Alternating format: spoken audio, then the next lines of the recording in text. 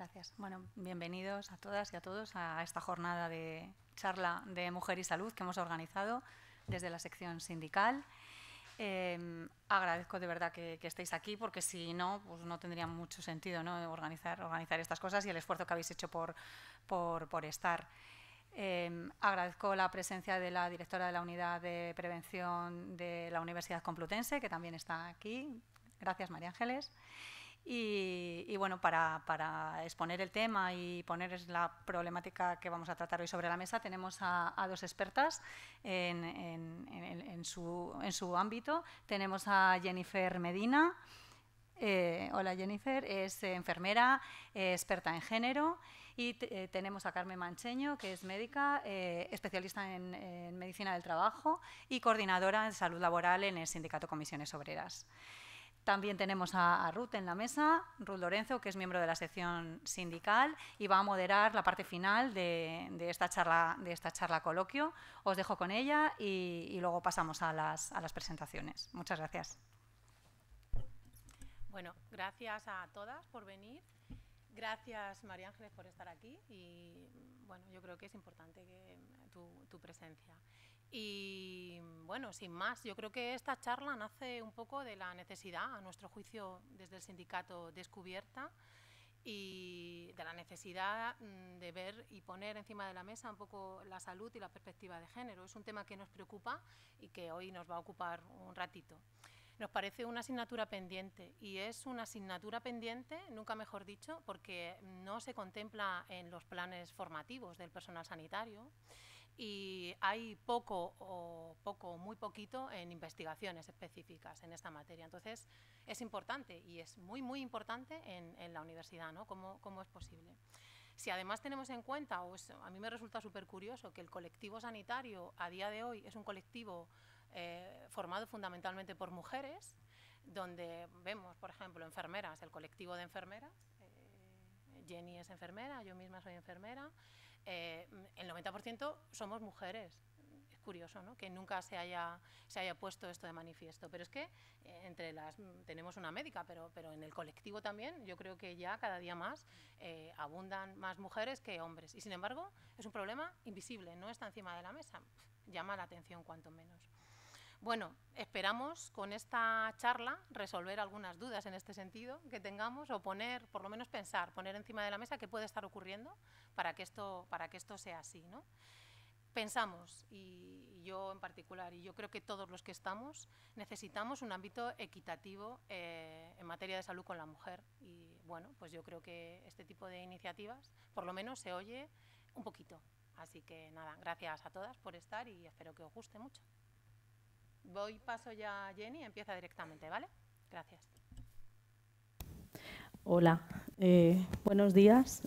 Aquí estoy vestida como Madonna, con un micrófono muy chuli. Eh, me voy a bajar, si no os importa, porque así puedo manejar un poco mejor la, presentación. Eh, bueno, muchísimas gracias a todas las personas que han, que han organizado esta jornada y por haber contado conmigo, sobre todo a mi compañera Ruth.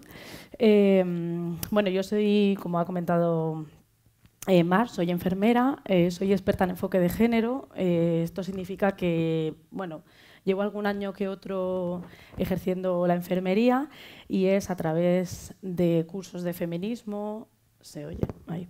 es a través de cursos de feminismo, eh, de violencia de género, de este tipo de cursos y de una visión más de la, de la antropología y de la sociología, cómo llego a, un poco a este tema del, del enfoque de género. ¿no?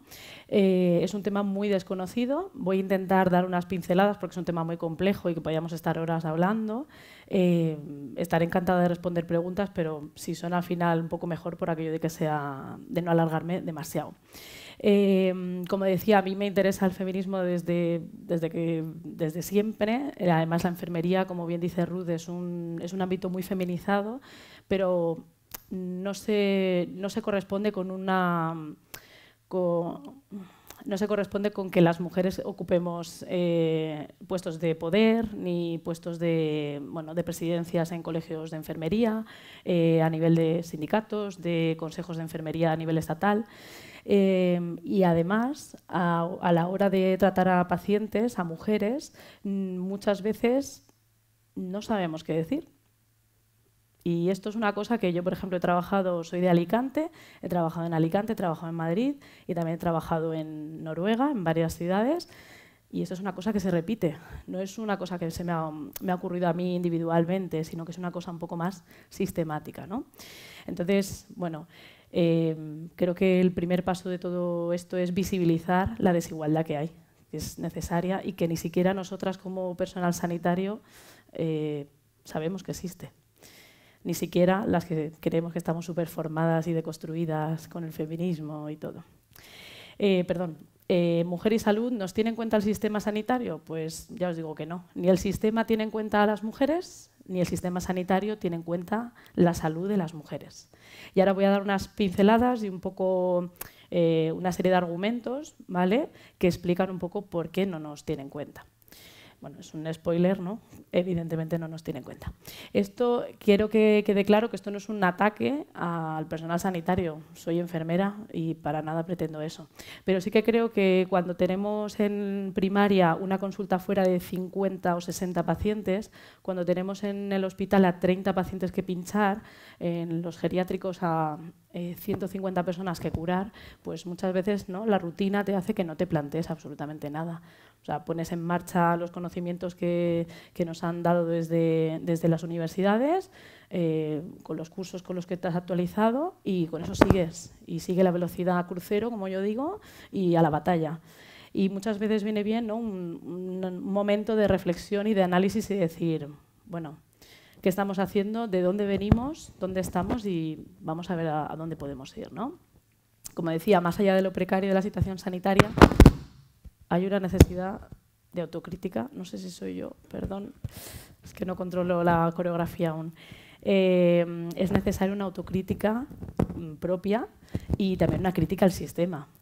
Eh, tenemos que saber de dónde procede el conocimiento que nosotras llevamos a cabo. Es decir, yo como estudiante de enfermería, en mi caso fui a la Universidad de Alicante, a mí se me, eh, se me explican y, se me, y yo adquiero una serie de conocimientos y esos conocimientos de dónde vienen. En esos conocimientos, en la creación de esos conocimientos se ha tenido en cuenta la vivencia, la salud, eh, los síntomas de las mujeres, de las mujeres al igual que de los hombres. es una pregunta que bueno, me gusta plantear. Eh, ¿Qué es el androcentrismo sanitario? El androcentrismo, como voy a explicar un poquito después, es eh, el hecho de que el hombre, el ser humano, por así decirlo, nacido como varón, eh, mm, ha sido considerado el centro y la medida de todas las cosas. Y ha sido él o ellos, han sido los hombres, los que al dedicarse al ámbito público de la vida, quienes han creado pues, los sistemas de justicia, los sistemas médicos, los sistemas políticos, etc. Y es a través de esa mirada como nos ha llegado a día de hoy el concepto justicia, el concepto verdad, el concepto salud o el concepto enfermedad. ¿Y qué pasa cuando la vivencia de los hombres siglo tras siglo es la única que se extrapola al resto de la población? Pues que el 51% de la población que somos las mujeres, pues no estamos incluidas y nos sentimos que mm, hay algo que no encaja con nosotras en este sistema. Eh, bueno, voy a empezar hablando de, con una cita de Carme Weiss. Es una de las profesionales que más me ha influido en, todos estos años. Es una endocrinóloga catalana maravillosa que lleva años divulgando, estudiando, investigando acerca del sesgo de género en el ámbito sanitario. Y en su libro, Mujeres Invisibles para la Medicina, habla del el sesgo sexista o de género, eh, de lo que significa. Eh, a mí me gusta, mm, ahí lo tenéis para leer, a mí me gusta un poco resumirlo o explicarlo con mis palabras, con lo que yo entiendo que es. Básicamente es el hecho de que el sistema nos ha dicho que somos iguales, hombres y mujeres. Pero nos ha dicho que somos iguales no a la hora de adquirir derechos, no a la hora de conocernos, no, no a la hora de somos iguales porque las vivencias que se han estudiado o se han observado en hombres las han extrapolado al resto de la sociedad. Pero no se han observado, no se han parado a, pensar que las mujeres tenemos unas circunstancias biológicas diferentes a las de los hombres. O sea, tenemos capacidades diferentes, anatomía diferente, tamaño diferente, y estas cosas hacen que la vivencia de salud no sea igual. Entonces, si yo como profesional de salud se me ha em, formado con este sesgo sexista, yo voy a reproducir este sesgo sexista cada vez que yo vaya a tratar a una mujer o un hombre. Em, básicamente, la salud de las mujeres es diferente o desigual. Las mujeres y los hombres anatómicamente, fisiológicamente tenemos características diferentes, pero eso no significa que nos merezcamos derechos diferentes, todo lo contrario. Tendríamos que aspirar a igualdad de oportunidades, a igualdad de derechos en cuanto a que la salud nos conozca, a que la justicia sea igual para todo el mundo. ¿Vale? La percusión. Em, a que eh, esas diferencias son simplemente, digamos, a nivel, nos la proporciona la naturaleza, ¿no? son eh, procesos y características de ambos sexos de forma natural. Pero ¿qué pasa? Que el sistema patriarcal ha utilizado esas diferencias para tratarnos de forma desigual. Vosotras parís, pues vosotras no decidís. Os quedáis en casa, como habéis estado muchos siglos, os quedáis en casa cuidando, atendiendo la casa, y ese tipo de circunstancias han sido desiguales siglo tras siglo. O sea, hay generaciones y generaciones y generaciones de mujeres que no han tenido derecho ni a pensar en la autorrealización, en qué querían trabajar, en qué sueños tenían, en si querían ser madres o no. Lo han hecho y punto. El binomio histórico varón-hembra eh, también ha, equivalido al, binomio todo o lo otro. Esto de todo o lo otro lo vais a ver claro con una diapositiva que viene ahora. El varón siempre ha equivalido al poder, a lo público, a lo reconocido, al que salía de casa, traía dinero y tenía un cierto poder que la mujer que estaba relegada a los cuidados del hogar no iba a tener. Eh, y otra de las cosas muy, muy curiosas de este androcentrismo es que, bueno, la palabra hombre, cuando miramos libros de anatomía, miramos libros de, cualquier tipo de, bueno, de hace ciertos siglos o ciertos años, eh, la palabra hombre se utiliza como sinónimo de humanidad, el sinónimo único, ¿no? Los hombres deciden o piden y a las mujeres no se nos escucha por ningún lado. Me acuerdo en la Revolución Francesa cuando, cuando intentan pedir ¿no? derechos como ciudadanos, no se tienen en cuenta las mujeres como ciudadanas, solo hablan de hombres. Pero esos hombres hablan como si fueran toda la humanidad.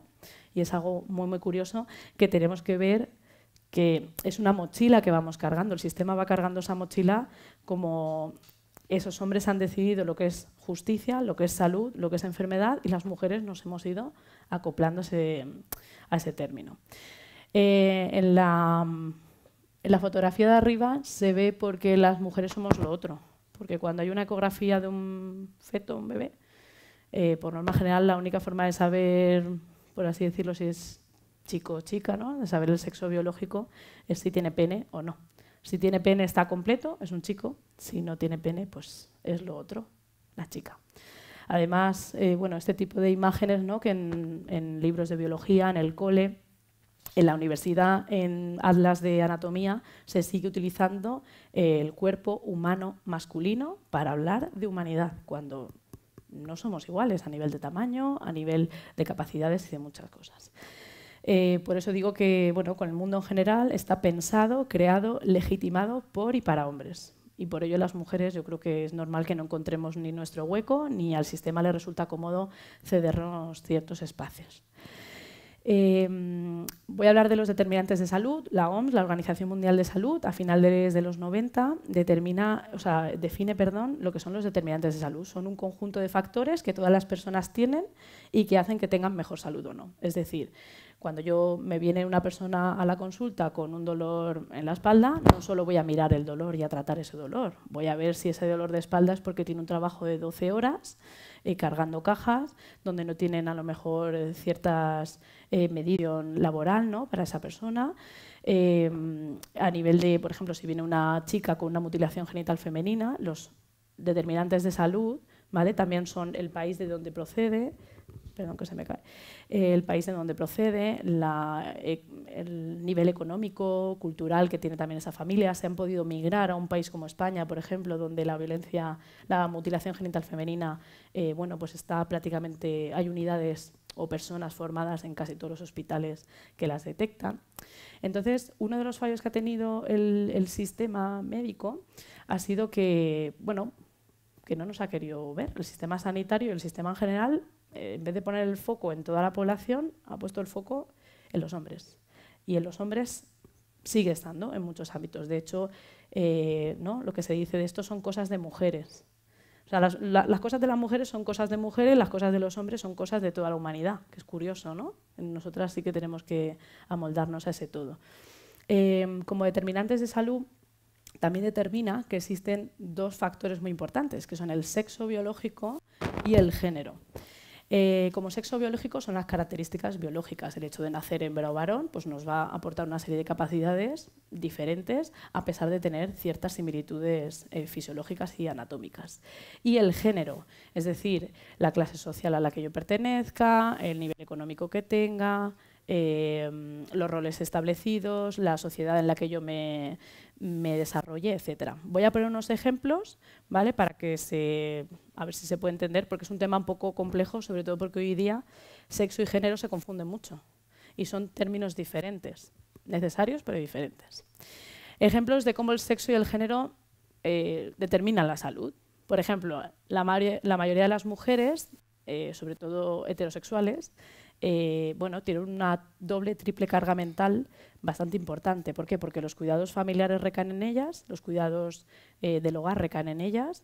Eh, además, se les pide que sean monísimas, que estén al día con la ropa, con todos los productos cosméticos, etcétera. Y además suelen trabajar con una media jornada o con una jornada entera a nivel remunerado, ¿no? Entonces, esto se ha visto, hay estudios que relacionan la doble y triple carga mental de las mujeres con el hecho de que el, diagnóstico en demencia y en Alzheimer es muchísimo mayor en mujeres que en hombres. Hay estudios ¿vale? muy recientes que lo relacionan. Es decir, el género, el hecho de que a las mujeres se nos eh, eche sobre nuestros hombros todos los cuidados del hogar y todo, todos los cuidados posibles y que no tengamos tiempo muchas veces de autocuidado, influye en que la cabeza llega un momento en que pueda generar ese, tipo de, patología. Por ejemplo, el síndrome del túnel carpiano, yo vengo de Elche, de Alicante, donde las aparadoras, las mujeres que cosen los calzados, tienen una, incidencia de, de síndrome del túnel carpiano muy, muy alta. Las limpiadoras, por ejemplo, las mujeres que se dedican a la limpieza también.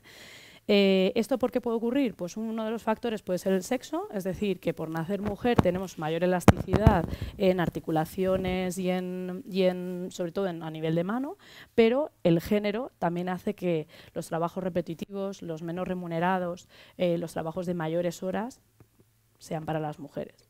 Además, con el tema de las aparadoras, me gustaría hacer un pequeño inciso, si me lo permiten, que es que, eh, por ejemplo, en el tema de las aparadoras del Che, ni siquiera eh, para añadir otro determinante de género más, ni siquiera al no tener un contrato laboral, no se les eh, reconocía esa enfermedad, el síndrome del túnel carpiano, como enfermedad laboral. Y ahora están en plena lucha, como diciendo, vamos a ver, llevo 25 años siendo aparadora en casa, no tengo un contrato laboral porque esto es absolutamente precario, eh, y ahora tengo una lesión que me impide hacer ese trabajo y no tengo derecho ni a incapacidad ni absolutamente nada. O sea, determinante de salud. No es solo el problema que tiene el paciente, sino todo lo que rodea a esa paciente. Eh, bueno, he puesto varios más, por ejemplo, el hecho de que las mujeres, al, pongo el último mismo y así voy pasando a la siguiente diapositiva. Las mujeres, eh, ¿cuántas aquí usamos algún tipo de crema para la cara? ¿Para la cara, para el cuerpo? ¿Perfume? ¿Maquillaje? Vale, todo tiene disruptores hormonales. Son ellos, ¿eh? que conste que la percusión la llevan eh, los disruptores hormonales. Eh, todo lleva disruptores hormonales. La gran mayoría de los productos llevan disruptores hormonales y se sabe a día de hoy que las mujeres somos muchísimo más sensibles a estos disruptores y, por supuesto, que estamos más afectadas porque usamos más esas cremas. ¿no? Probablemente en el caso de, los hombres, que estoy muy contenta que haya hombres hoy, eh, no sé cuántas cremas y productos así usan. No sé si usáis todos los días algún producto. ¿Sí? ¿Ustedes? Bueno, es menos habitual por norma general. Esto son generalizaciones. Estamos yendo, o sea, esto es una crítica, digamos, a los cimientos del sistema, eh, ¿vale? No es una crítica individual a absolutamente nadie. Eh, vale, ¿se tiene en cuenta la ciencia médica estos determinantes de salud? Pues no, no se tienen en cuenta. Es que el sistema está absolutamente eh, ciego con respecto a nosotras. Es que no se puede, no se puede em, considerar que hay un sistema igualitario, que existe la igualdad, si no se reconocen las diferencias que hay entre las personas que, formamos parte de ese sistema. ¿no? La ciencia médica, en el ámbito de la sociología y de la antropología, se llama ciencia médica no diferencial y androcentrista. Androcentrista porque tiene al hombre en el centro de lo que significa salud, enfermedad o bienestar. Las mujeres no pintamos nada en eso. Eh, y eso genera un sesgo de género a la hora de que los profesionales y las profesionales sanitarios podamos ejercer nuestra enfermería, medicina, están basados en teorías que no tienen en cuenta las mujeres. Porque cuando están delante de una paciente que es una mujer, no le pueden dar una atención como, se debería hacer. Eh, algunas pruebas del discurso androcéntrico. Pues, por ejemplo, eh, alguien se acuerda o en las películas o en los libros, ¿no? Cuando hablaban de las brujas o las señoras que hacían los, eh, las curas eh, con mejunjes, con hierbas, con todo eso, ¿no? Eran la, bueno, la chamana o la bruja, o bueno, eran mujeres que tenían muchísima sabiduría, pero que a lo largo de los años en, en los libros prácticamente ninguna de ellas ha sido reconocida. De hecho, muchas de ellas acabaron en la hoguera por eso, por brujería y por, por no seguir las, las, nociones que había que seguir. Em, ¿Esto qué significa también? Pues que hay un montón de mujeres que nunca pudieron estudiar en su día ciencias médicas cuando empezaron a hacerse estudios, por así decirlo, académicos, no podían ejercer, porque eran, o sea, no podían estudiarlos ni siquiera porque eran mujeres, o bien se disfrazaban de hombres, o bien cuando les dejaron entrar en las universidades ni siquiera les dejaban ejercer como médicas.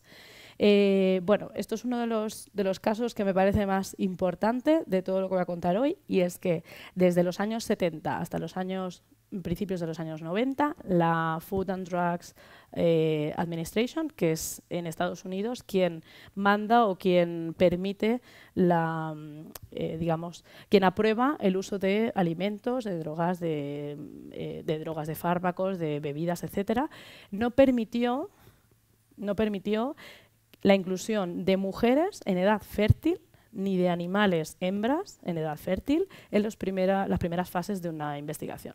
¿Esto qué significa? Pues que si durante esos 20 años eh, se generaron, imaginen, 2.000 eh, fármacos, pues ninguno de esos se probaron en mujeres en edad fértil. La edad fértil de una mujer se calcula ¿no? pues entre los 12, 15 hasta los 45, más o menos, años arriba, años abajo. O sea, son muchísimos años en los que no se nos ha tenido en cuenta en esas, en esas investigaciones. Em, uno de los principales motivos era, pues claro, que encarecían, como eran diferentes resultados, encarecían todo el proceso de investigación y no sale a cuenta. Pues total, sois todo hombres y lo que les pasa a los hombres lo extrapolamos al resto de la población, eso es lo que pensaron. Y además actualmente, a pesar de que hay algunas, eh, algunos trabajos al respecto, eh, sigue sin haber suficiente representación en, los ensayos clínicos y en las investigaciones, no hay suficiente representación de mujeres. Si yo, por ejemplo, quiero hacer aquí un estudio, para que fuera igualitario tendrá que coger a eh, cinco hombres y a cinco mujeres. ¿no? Porque si cojo a, si tienen que ser diez y cojo a ocho mujeres y dos hombres, pues los resultados que me pueden dar dos hombres no es igual que los que me pueden dar una muestra un poco más grande. ¿vale? Esto es un sesgo de género en la práctica médica. ¿Qué consecuencias tiene, bueno, tienen estos, estos hechos? Pues, pues que las mujeres han sido, son y serán, si no hacemos algo por remediarlo, infradiagnosticadas o diagnosticadas tardíamente cuántas no van a la consulta y a mí me duele esto, y a mí me duele esto, y a mí me duele esto. Y señora, usted no tiene nada, un medicamento. La semana siguiente, a las dos semanas, otro medicamento. Y es que ya no sé qué darle, ya no sé qué darle, no, no, tengo, no tienen forma, no tienen respuesta que dar a esas pacientes. ¿no? Eh, los síntomas muchas veces no son ni reconocidos ni legitimados. Eh, hay muchísimos prejuicios a nivel del personal sanitario porque estamos formados en un sesgo en algo que no tiene en cuenta las vivencias de las mujeres. Y esto es, a mí me parece algo tristísimo. Bueno, es que el feminismo a veces nos llena un poco de frustración y de tristeza porque dices, jo, qué triste es la realidad, ¿no? Que hay un 51% de la población, entre las que me incluyo, eh, que si me duele algo que no está descrito en los libros, es que no, no van a saber qué tratamiento ponerme, ¿no? Están infradiagnosticadas y diagnosticadas tardíamente y uno de los casos peores que hay es el infarto agudo de miocardio. No sé si habéis eh, escuchado hablar de ello, pero bueno, tengo el caso de, una persona a la que quiero muchísimo y cuya madre eh, tenía una patología cardíaca eh, diagnosticada, pero se empezó a encontrar peor. Una visita a urgencias, otra visita, usted no tiene nada, no tiene nada, hasta que se derrumbó en el suelo. Se cayó fulminada con un infarto y falleció con toda la tristeza que implica eso, con todo lo que supone una familia, ¿no? Si hubiera sido un hombre, le hubieran hecho pruebas a nivel cardíaco, le hubieran metido a un cateterismo, le hubieran eh, hecho un ecocardio, que no le hicieron ni siquiera un ecocardio, un electro, no le hicieron nada. Le dieron ansiolíticos. Ansiolíticos, porque la señora estaba muy nerviosa, venía mucho es que es triste y esto pasa. O sea, podéis buscar información sobre ello porque la prensa cada día, por suerte, se hace un poco más de eco de la cantidad de casos que ocurren. Ni siquiera las propias mujeres sabemos qué síntomas tenemos de infarto, que eso luego lo, cuento que me enrollo. Vale, están infratratadas y sobremedicadas. ¿Qué significa? Pues, pues como el caso que acabo de contar, ¿no? Infratratadas por el problema que le, que le ocurre realmente y sobremedicadas de ansiolíticos, eh, antidepresivos, eh, medicación para dormir y todo eso, porque eso sí que todo es psicosomático. todo lo que nos pasa a las mujeres es psicosomático, estamos un poco, poco alteradas. Eh, entonces se nos tiene que dar esas medicaciones. Y lo que ocurre es que el sistema no tiene una respuesta para los problemas de salud que tenemos. Eso probablemente es lo que Eh, infraderivadas, pues por ejemplo en el caso de lo que he comentado, los problemas cardíacos, eh, las mujeres tienen un índice muchísimo menor de cateterismo cardíaco, teniendo los mismos problemas cardíacos que los hombres, es decir, tras un infarto, una de las intervenciones que se realiza es un cateterismo. Bueno, pues las mujeres tienen menos de un 65, o sea, en comparación, los hombres tienen un 65% más de cateterismos que las mujeres. No se les deriva hacer esas intervenciones. Además de ello, que las mujeres tienen muchísima más probabilidad de tener eh, efectos, o sea, secuelas importantes y mortalidad ante el primer infarto. ¿Por qué? Porque ni ellas mismas se lo reconocen, ni van a urgencias, y si van a urgencias, el personal tampoco lo reconoce. Es que es complicado, ¿eh? Y luego, por supuesto, silenciadas, invisibilizadas y deslegitimadas de sus propias vivencias de salud y enfermedad. Eh, pues claro, yo si voy una vez al médico o a la médica y le, mm, le cuento, pero es que me dan medicación, eh, me frustro porque la medicación que me da no me hace nada, me deja dormilada y atontada todo el día, encima eso a la larga me hace efectos secundarios como la medicación para dormir, que crea efectos secundarios de eh, de adicción, de adormilamiento, de, hay gente incluso que le da reacciones a nivel de, articulaciones.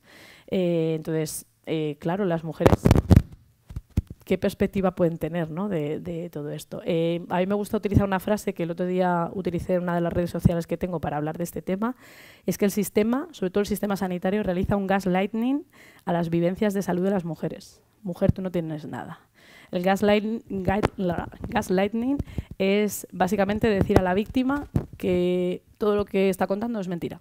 Está, hace luz de gas, eso es. Eh, sí, me he hecho la moderna, eh, como estoy como Madonna, pero sí, luz de gas. Em, o sea, es algo muy grave, ¿no? Yo siempre me pongo en el lugar, en el centro de salud, eh, yo he recibido a, a, chavalas que han venido a, bueno, esto es un resumen, a chavalas que han venido con dismenorrea, con dolor menstrual, y que el pediatra les diga, bueno, hija, no te dolerá tanto. El pediatra dice, no te dolerá tanto, yo que sé, pinchale algo, esto es real. Y tú decir, madre mía, ni tienes esa experiencia, porque no la puedes experimentar, naturalmente, eh, ni tienes empatía, ni le quieres escuchar. Eh, a mí me sorprende un poco también el hecho de que si viene un hombre con una orquitis, es un dolor testicular, nadie pone en duda esa orquitis. O sea, al hombre le duele, perdón, los huevos, le duele los huevos. A nosotras nos duele la regla, ya está la exagerada esta.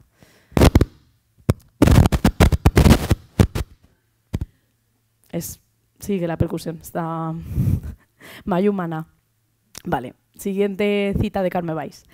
Eh, es que me resulta una mujer eh, que ha abierto muchos, muchos frentes y muchos caminos y me parece absolutamente maravillosa compartirla y que la podáis conocer, aunque sea a través de sus libros. Eh, la medicina basada en la evidencia es útil para los problemas de salud que se conocen. Es decir, si la inversión de todos los problemas, o sea, de todas las investigaciones va encaminado a reproducir el androcentrismo sanitario, las mujeres seguimos sin estar reconocidas en la evidencia científica.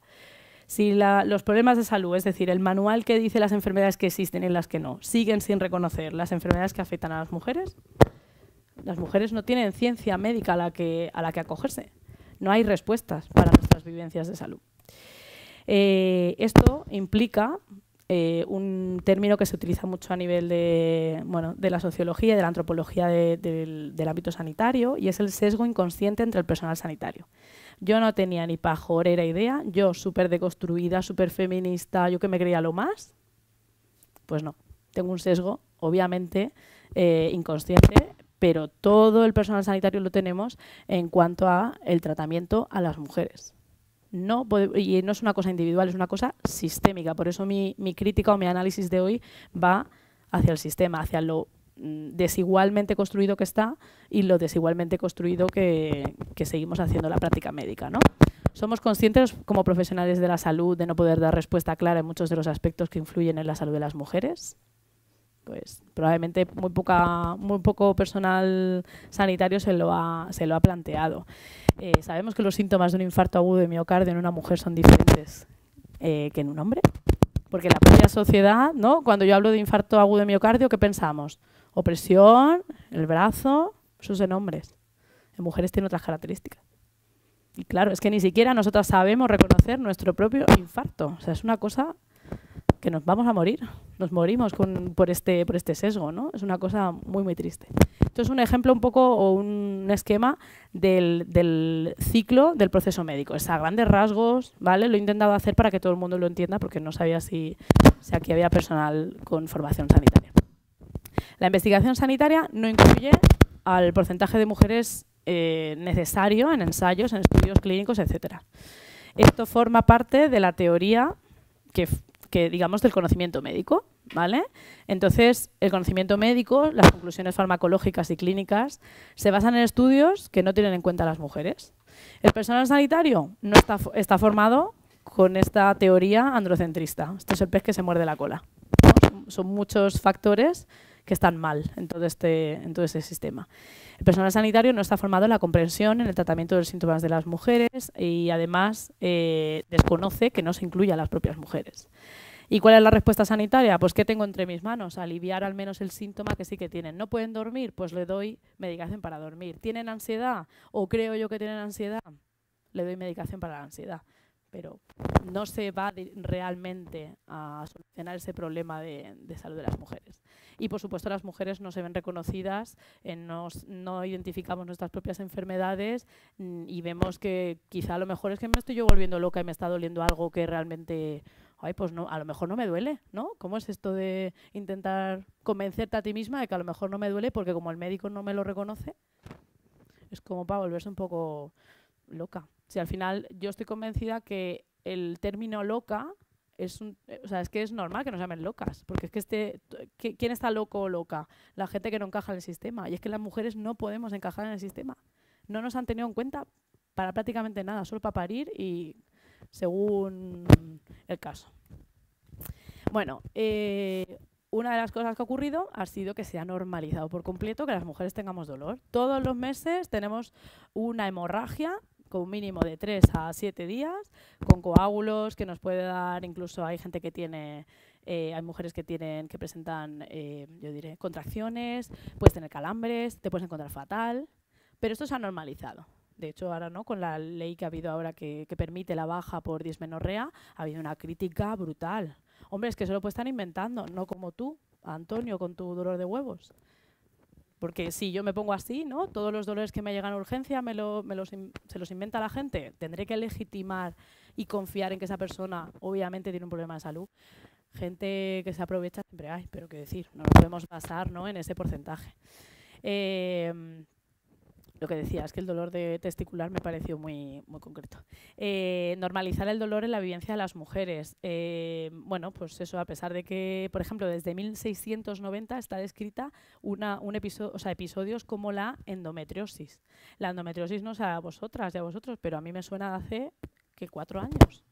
Desde 1690 hay descritos episodios de endometriosis en mujeres y no ha habido ningún avance hasta hace cuatro años. ¿Esto por qué es? Porque son problemas, cosas de mujeres, cosas que se, no sé, que le duele algo ahí. y estamos, por supuesto, fuera del sistema. Eh, somos muchas veces ese dolor atípico, esa sintomatología general no, no precisa, ¿no? y esto, esto está en los historiales médicos. Esto está en los historiales médicos. Sintomatología no precisa, o, general, o no concreta.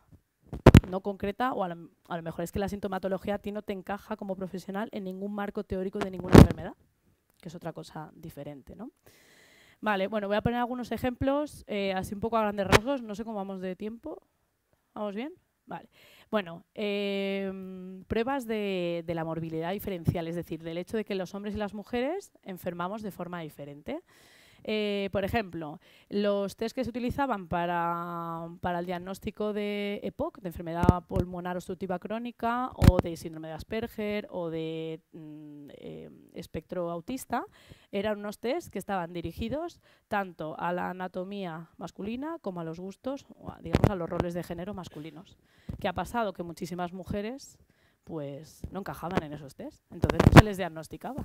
Por ejemplo, me recuerdo uno un poco así, eh, un poco general, no recuerdo si era del TEA o del síndrome de Asperger, pero uno de ellos era eh, si me si al realizar deporte en equipo, ¿cuántas chicas hacen deporte en equipo?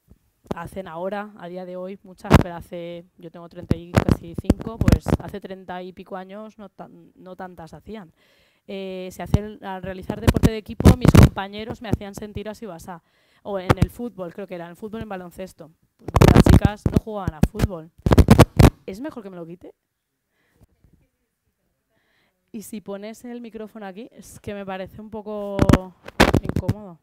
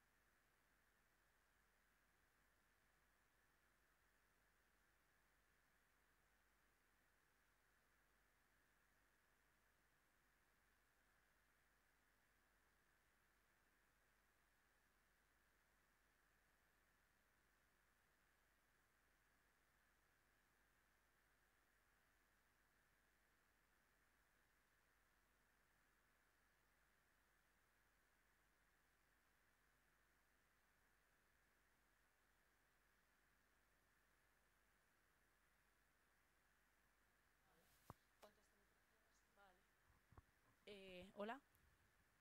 ¿Hola? Hola.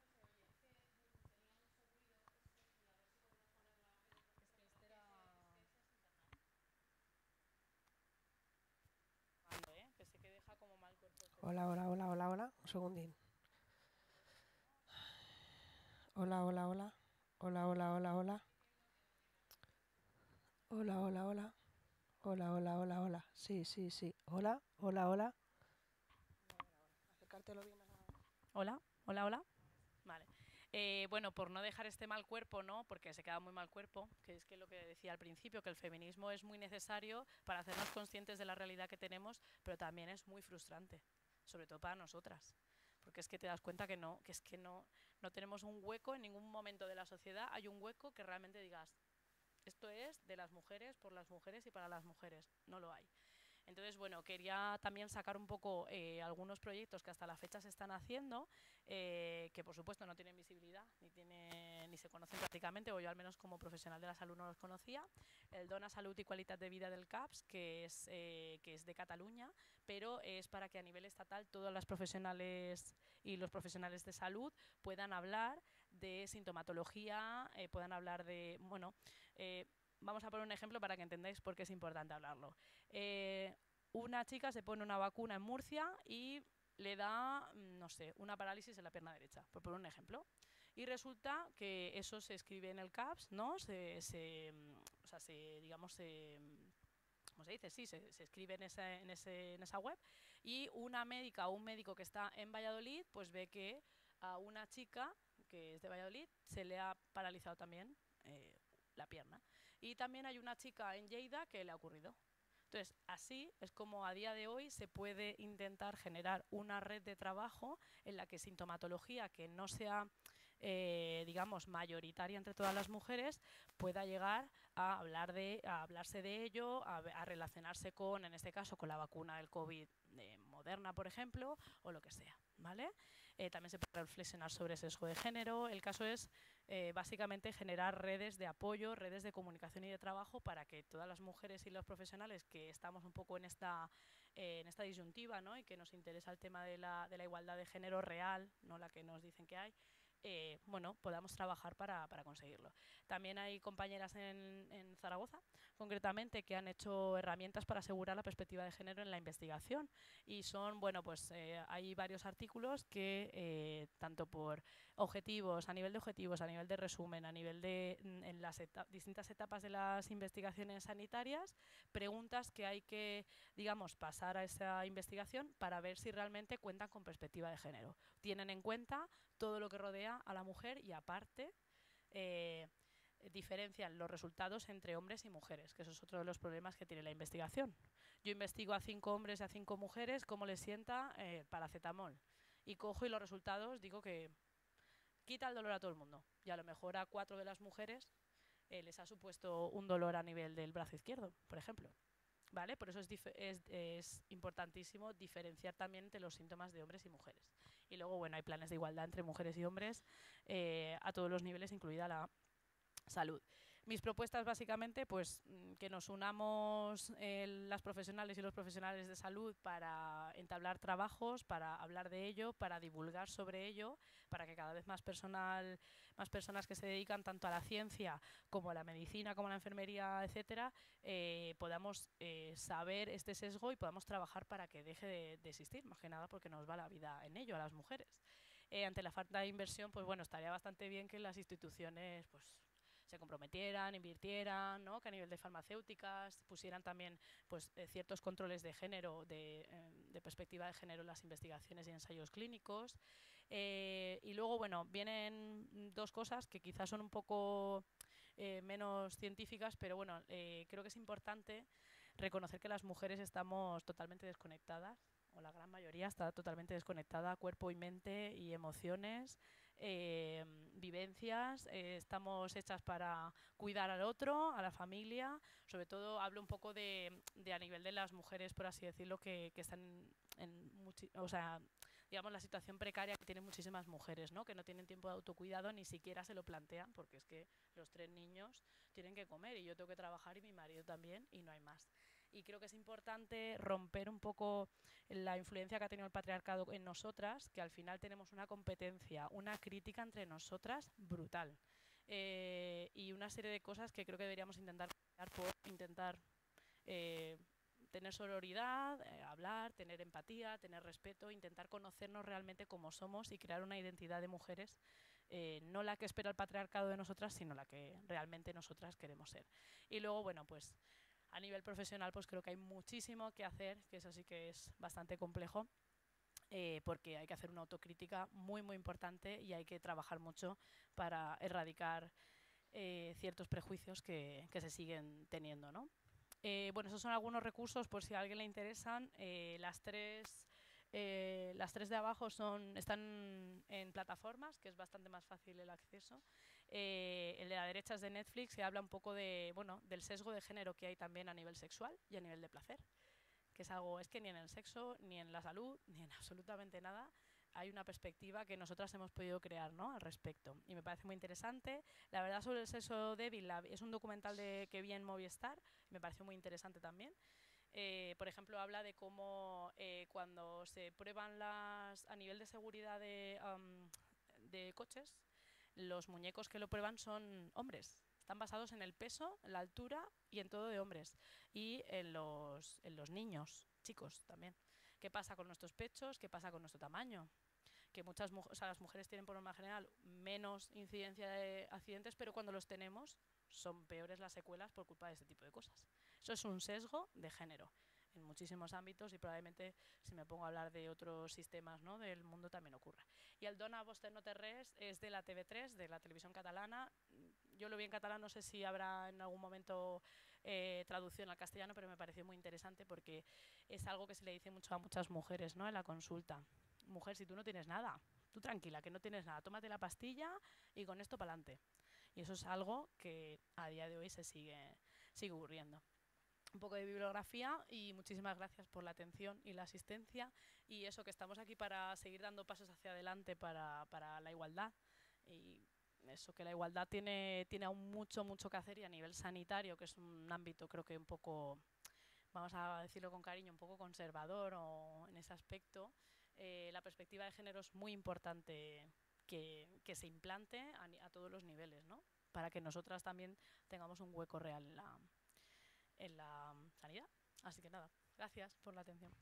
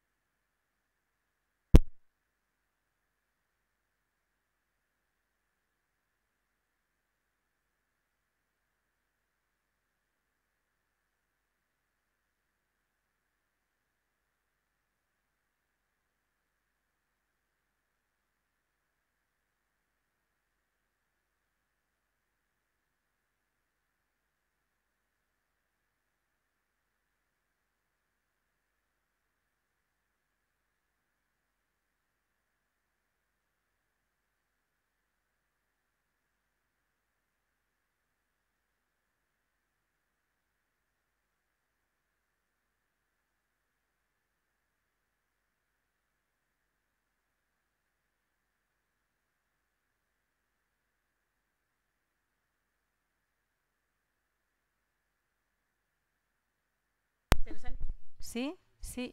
Es, ahora sí. Ahora sí, ahora también este. Vale, era por ahí.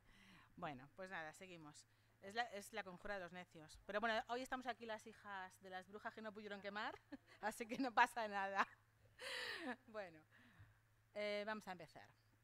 Eh, hablando en términos de salud, ya, bueno, yo normalmente eh, si empiezo yo, empiezo a contar un poco la diferencia entre sexo y género, porque es importante, ¿no? Que, que todos sepamos hablar cuando hablamos de sexo y de género, de que hablamos. Creo que no hace falta porque ya Jenny nos lo ha dejado súper claro.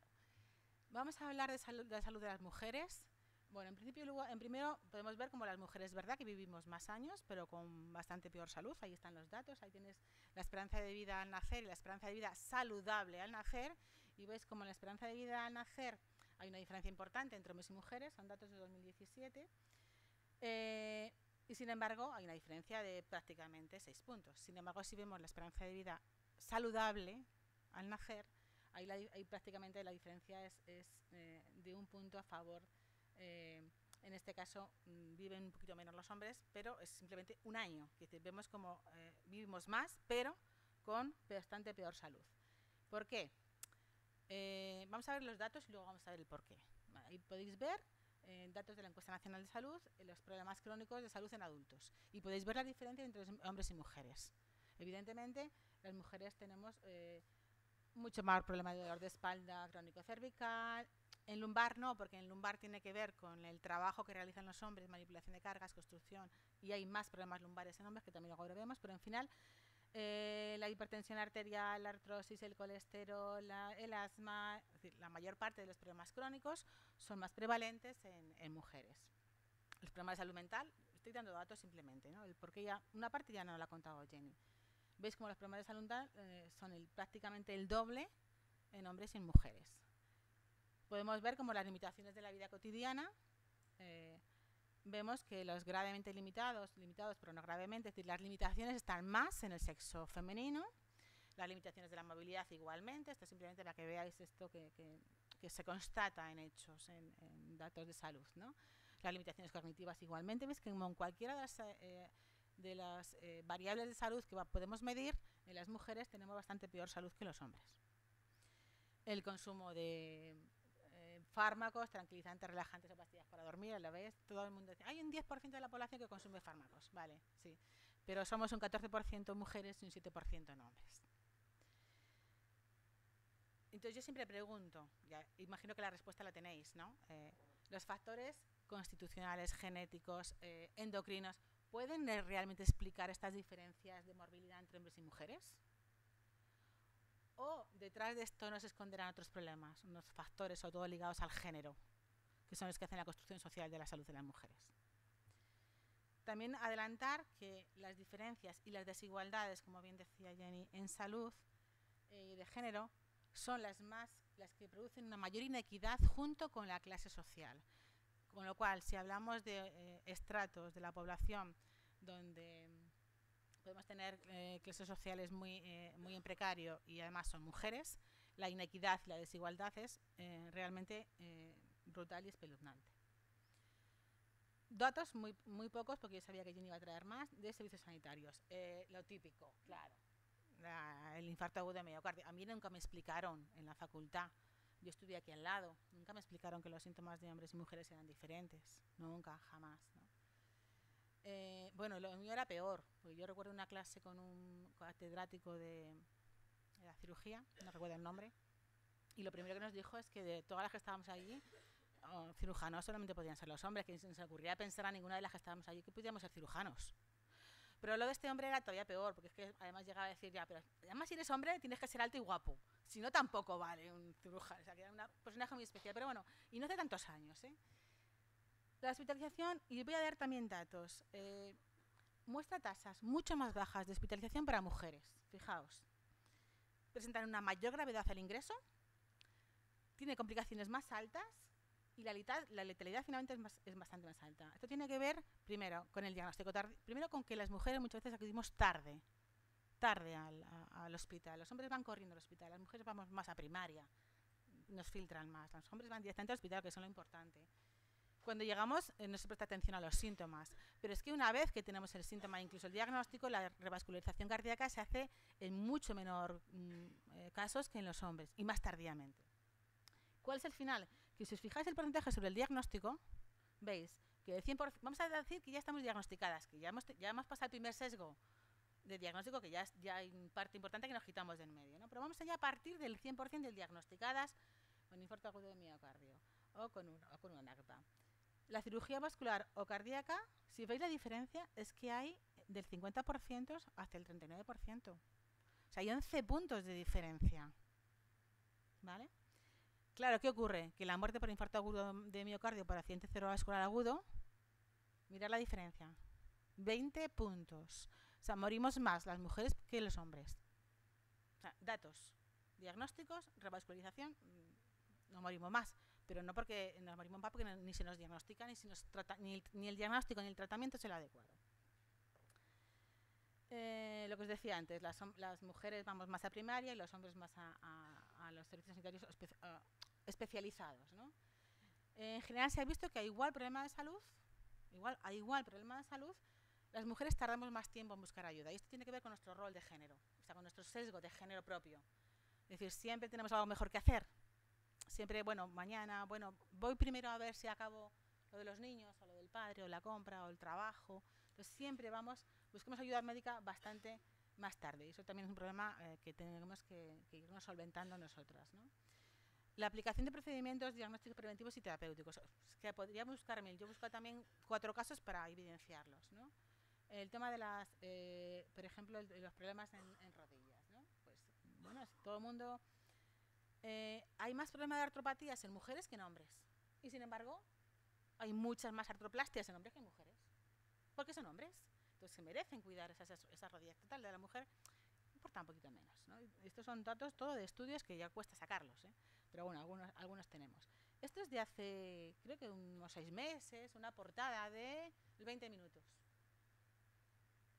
Bueno, algo, algo vamos avanzando. Al menos ya tenemos, ya visibilizamos que hay que estamos peor diagnosticadas en al menos 700 patologías.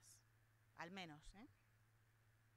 Y os voy a leer, vais a leer conmigo un hilo de Twitter de una médico, una, una mujer, una ginecóloga, de hace muy pocos meses también. Es que no hace falta que leerlo y ya vais a entender. Mirad, os voy a contar una historia que, que ilustra el sesgo de género en medicina. Tras una, tras una cesárea de urgencias, sin complicaciones, en la sala de reanimación empezó a oír las alarmas. La, la estaba en la guardia la frecuencia, la paciente tiene una frecuencia cardíaca de 145, tiene un electrocardiograma y estaba en fibrilación auricular. Le pregunté si alguna vez había tenido previamente alguna arritmia, ella me dijo que, que ya supiera no tenía nada. Le pregunté si alguna vez había tenido algún problema de corazón, me dijo que, que habitualmente notaba palpitaciones y que había acudido varias veces a urgencias. No una, varias veces. ¿Vale? Miró la historia y dijo, efectivamente había ido a urgencias cinco veces. Cinco refiriendo dolor torácico y sensación de palpitaciones. En todas y en cada una de ellas constaba como diagnóstico ansiedad. Esto es un poco extremo. Mm, voy a ponerlo en contexto, es decir, porque ante un dolor y unas palpitaciones, lo normal es que siempre hagas un electrocardiograma. Mm, es un poco ya un caso extremo, pero ocurre. ¿no? Bueno, en este caso ni eso. Ni se llegó a hacer ni siquiera un electrocardiograma. Eh, ataque de ansiedad y ya está a casita. Y así cinco veces hasta que en, en, la cesárea pues tuvo un problema ya donde se le pudo diagnosticar. En el caso de esta paciente, ya dice mujer, joven, sana, con ansiedad diagnosticada previamente y embarazada, pues todo se atribuye a su ansiedad de base, que habría que ver de dónde viene esa ansiedad de base. Que aquí ya no entramos, pero bueno, ya estaba ahí, ¿no? Había acudido realmente a la urgencia con un debut de fibrilación auricular paroxística, pero no se le ha diagnosticado, y con el riesgo que esto comporta, efectivamente, ¿vale? para su salud y en este caso también para el feto. Entonces, ahí hablaba el ejemplo clásico de las enfermedades cardiovasculares como un sesgo de género, ella nos habla del tema de los ictus, de los infartos, tienen más probabilidades de, de morir en caso de infarto, hemos visto ahí, tiene hasta 20 veces más veces probabilidades de morir, consultan más tarde, ves como al final eh, todos decimos prácticamente lo mismo, pero porque es la realidad que, vivimos aquellos que, que, pone, que podemos poner o que ponemos una mirada diferente a, al sistema sanitario. ¿no? Y bueno, ya habla del, del, tema de los síntomas del infarto digo que a mí jamás me lo contaron, ¿no? que, eran síntomas, que podrían ser síntomas distintos. Em, ante un problema de ansiedad, ni os cuento, por ejemplo, con el tema de las enfermedades nuevas, ¿no? Eh, estas enfermedades que son malestar general, me duele todo, pero no me duele, esto, locas, no, esto es un problema de, de, ansiedad, es que realmente tenemos un problema de ansiedad, las mujeres es importante, sí, muchas veces lo tenemos, sí. Lo que ocurre es que no es que tengamos un problema de ansiedad, es que tenemos una sociedad que nos hace ser ansiogénicas, que, continuamente nos agrede, ¿no? Bueno, esto ocurre con el tema de la sobremedicación, el tema de la, evidentemente, bueno, lo hemos visto con el COVID. ¿Hasta cuánto, cuánto han tardado en decir las alteraciones menstruales de la mujer por la vacuna del COVID? ¿Cuánto han tardado? O sea, vamos a ver, es que no, no, nos tenemos que ir a los años 90, es que lo estamos viendo ahora, ¿no? Claro, todo tiene que ver con lo mismo. Eh, la endometriosis, vuelvo a hablar ella, ¿no? que yo recuerde, y bueno, simplemente que ella dice al final, para cambiar las cosas hay que aceptar que existen que es un poco lo que estamos intentando también un poco aquí. ¿no? Y ya nos vamos a ir al trabajo como determinante de la salud, donde vais a ver mm, que reproducimos los mismos sesgos que en salud y que en el sistema sanitario. Además aquí, vamos a incorporar otros diferentes, que es la, precariedad eh, laboral de las mujeres. ¿no? Tú tienes eh, eh, la precariedad en el empleo, que tiene que ver con la dificultad en el acceso y la permanencia en el mercado de trabajo, mayor número de contratos a tiempo parcial, mayor precariedad, siempre estamos en estatus eh, puestos de menor relevancia dentro de las empresas. Todo eso tiene un impacto en la salud. Bueno, el techo de cristal, el suelo pegajoso, en fin, todo lo que ya conocemos que nos suena, ¿no? Esto tiene impacto en la salud también. Tiene impacto en los niveles de ansiedad, la depresión, la autoestima, eh, menores niveles de salud en general e incluso mm, situaciones de mayor morbilidad real, ¿no? Vamos, real, me refiero física, ¿no? Constatable fisiológicamente. Esto tiene que ver mucho ya con un tema que también conocéis, eh, que es el tema de la segregación y el reparto de tareas, de eh, la segregación horizontal y vertical que eh, continuamos arrastrando. Porque esto a veces, cuando yo lo digo, o cuando yo me autoescucho, digo, parece que estoy hablando del siglo pasado, pero es que luego te vas a la realidad y es que, es que sigue ocurriendo. No, hemos avanzado un ápice, hemos avanzado muy poquito. ¿no? La concentración de la mujer en determinados sectores de la, de la producción atención a personas, educación, sanidad, servicios sociales, administración, comercio y limpieza. Es decir, sectores donde es una continuidad de nuestro rol en la casa. Cuidamos, educamos, atendemos, limpiamos. Y luego dentro de la, dentro de la, eh, la segregación vertical, es bueno, pues como eh, diferentes tareas que ambos sexos tienen eh, asignadas dentro del mismo sector de actividad. Por ejemplo, voy a poner un ejemplo, limpieza la mayor parte de las mujeres que limpian oficinas y despachos son mujeres, ¿no? Pero sin embargo la mayor parte de los hombres que, que, limpian cristales son hombres, o que van con la maquinita esta de pulir los suelos, ¿vale? Son hombres. Pero curiosamente, esos hombres tienen un plus, porque hacen un trabajo que es más importante que hacen las mujeres. Entonces tienes mismo, la misma categoría profesional, son limpiadores ambos, los riesgos a los que están, a los que están, a los que están expuestas las mujeres eh, no digo que los compañeros que vayan en las máquinas no tengan vibraciones, tengan riesgos laborales, que los tienen, pero los eh, riesgos laborales de las mujeres aparecen invisibilizados. Y además les compensamos a los hombres porque, curiosamente, esos tipos de puestos de trabajo llevan un complemento salarial que las limpiadoras no, porque es su trabajo. Luego tenemos, en la segregación horizontal nos hace ser, eh, tenemos diferentes actividades y diferentes riesgos. Los hombres están más, como decíamos antes, en la, en la industria, en la construcción, y las mujeres en el sector servicio, que todo lo que tenga que ver con, lo, con, con la extensión de los cuidados. La segregación vertical, como decíamos antes, diferentes riesgos, diferentes eh, exposiciones que luego no se identifican en la realidad. Esta es la teoría, pero luego eh, la, la, la, evaluación de riesgos no identifica estas diferencias tampoco. ¿no? Luego hay factores fisiológicos y hormonales que hay que tener en cuenta, como luego veremos, por ejemplo, con el riesgo químico. Uh, Jennifer nos decía, la fisiología es muy diferente, claro, la fisiología es muy diferente y afecta a la exposición a, a muchos compuestos, eh, a muchos factores de riesgo. Por ejemplo, a la distribución de grasas, de la grasa eh, del tejido adiposo en hombres y mujeres es muy diferente. Luego, entonces, si yo estoy, estoy expuesta a un pesticida, voy a tener una mayor afectación, bastante, una intoxicación, una posibilidad de desarrollar una enfermedad bastante mayor que un hombre. Y a lo mejor tengo la misma exposición, igual de mala o igual de buena, pero la, la probabilidad de desarrollar una enfermedad y un daño diferente está por la diferencia eh, fisiológica y hormonal. ¿no? Y luego, factores atribuibles al imaginario colectivo. Ahora somos más quejicas. O además de locas, que es que nos quejamos todo el día. Entonces, ante un mismo problema, el tratamiento siempre es distinto. En los hombres eh, su dolor es importante, en las mujeres es que nos quejamos demasiado. ¿no? tampoco para tanto, es que al final es un poco más de lo mismo. ¿no? Eh, en los hombres, en el mundo del trabajo, pues están en las, tienen un mayor riesgo de exposición a seguridad, riesgos físicos, químicos y manipulación de objetos de, eh, de peso elevado, es decir, la manipulación de carga, la construcción, la logística, que hay, hay problemas de salud importantes y accidentes de trabajo muy graves y que además estamos en un periodo donde la siniestralidad está subiendo de forma brutal, pero eso tiene que ver bueno, pues con la construcción de, de nuestras empresas. ¿no? Las mujeres estamos más expuestas a riesgos ergonómicos y psicosociales y a riesgos químicos diferentes. Pero fijaos, ya, ya empezamos a ver el primer sesgo. Curiosamente, las evaluaciones de riesgo eh, se centran y ponen el foco y ponen los recursos y los esfuerzos en los riesgos de seguridad, los ligados a la construcción, eh, la manipulación de cargas y los riesgos físicos, el ruido, la vibración. Cuidado que hay que hacerlo, ¿vale? Sí.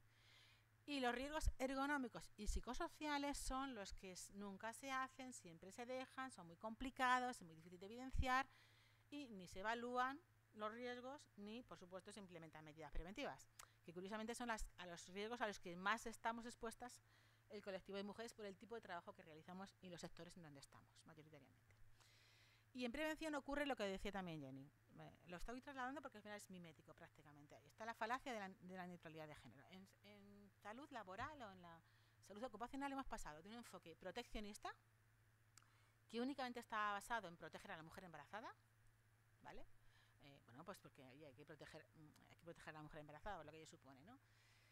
Eh, solo en la, en la, parte biológica, no en la parte de género. Eh, cuidado, no, solamente en la parte biológica de que hay que procrear, hay que eh, supervivencia de la especie, ¿no? Poco más. Todo lo, toda la parte de género que lleva asociada al embarazo, no, eso no, no, no, tiene mayor importancia. Pues hemos pasado de ese enfoque, que hasta, hasta, hasta muy poca, a un enfoque ahora más moderno, eh, que se lleva más y que viste más, y que es el enfoque neutro. Es el enfoque neutro que consiste en entender las cuestiones de, de salud laboral desde una perspectiva de un trabajador abstracto cuyo referente implícito es el masculino. Es más de lo mismo. Entonces yo voy a ver los equipos de protección individual y todos tienen, eh, están eh, fabricados y, y, la ergonomía es para hombres. Yo para encontrar un calzado de seguridad de número de, de, de pie y tamaño de una mujer es prácticamente imposible. O hemos tenido que llegar a Bruselas para que las mujeres policías tengan chalecos antibalas porque tienen pechos y no, pueden, no le vale el mismo chaleco que un compañero, ¿vale? Y esto está pasando, yo digo ahora mismo, no, no, no, es, no, es, no es de hace 10 años ni, ni 20, es de ahora mismo, ¿no? O como al final eh, los estudios que se hacen, igual que en medicina, los estudios referidos a los valores límites ambientales, son todos los tipos de los estudios están basados en hombres. Pero luego el valor límite se aplica igual a hombres y a mujeres. Por lo tanto, el daño en mujeres y en hombres eh, no se tiene en cuenta. No se tiene en cuenta la diferencia de exposición ni el diferente daño que ocurre. Con lo cual, es decir, hemos pasado de mal a, de mal a malagón. Es decir, a mí no me vale el enfoque neutro. No es porque además el enfoque neutro, ¿qué hace? Invisibilizar los problemas de las mujeres, una vez más. El de los hombres normalmente no. Y aquí yo os traigo un círculo vicioso, que es Karen Messi, es una, investigadora de, de, la Universidad de Quebec, también es una de las históricas eh, en, en, el tema de salud ocupacional y género, ¿no? Y esta habla del tópico. Partimos de un tópico en el que el trabajo de las mujeres es más, eh, menos, es más ligero, sin riesgos, tiene muy pocos riesgos. Como es un trabajo sin riesgos, pues no se investigan los riesgos, total es que prácticamente no tiene, no hay mayor problema, ¿no? Luego no se establece ningún tipo de, no se implementa ningún tipo de medida preventiva. Los riesgos son invisibles, no se hacen visibles. Y por lo tanto, si aparecen enfermedades que pudieran estar ligadas a esos riesgos, no se ponen en relación, sino que se atribuyen al imaginario colectivo, al trabajo doméstico, a la histeria colectiva, o yo tengo un problema de, de túnel carpiano, por decir el mismo ejemplo que ponía Jenny, y, y trabajo en una fábrica eh, haciendo rindo cremalleras, por ejemplo, en HDL, que es una de las que yo he visitado. Pero cuando tú vas al servicio, en este caso, al servicio de prevención, vigilancia de la salud, para ver tu enfermedad profesional, ya es que tú en casa seguro que te pasas el día barriendo y fregando, porque tienes tres niños. ¿Qué tiene que ver que tú aquí planches ocho horas al día? con unas planchas súper pesadas además, ¿no? No tiene nada que ver. Y luego se rechazan las quejas y volvemos al círculo vicioso. ¿no? Es el que hay que romper, que nos dice Karen Messi, hay que romper a ver dónde lo rompemos, pero yo creo que hay que romperlo por varios sitios, no solamente por uno, porque si se rompe por uno solo, seguro que lo vuelven a coser y nos vuelven a encerrar en el círculo.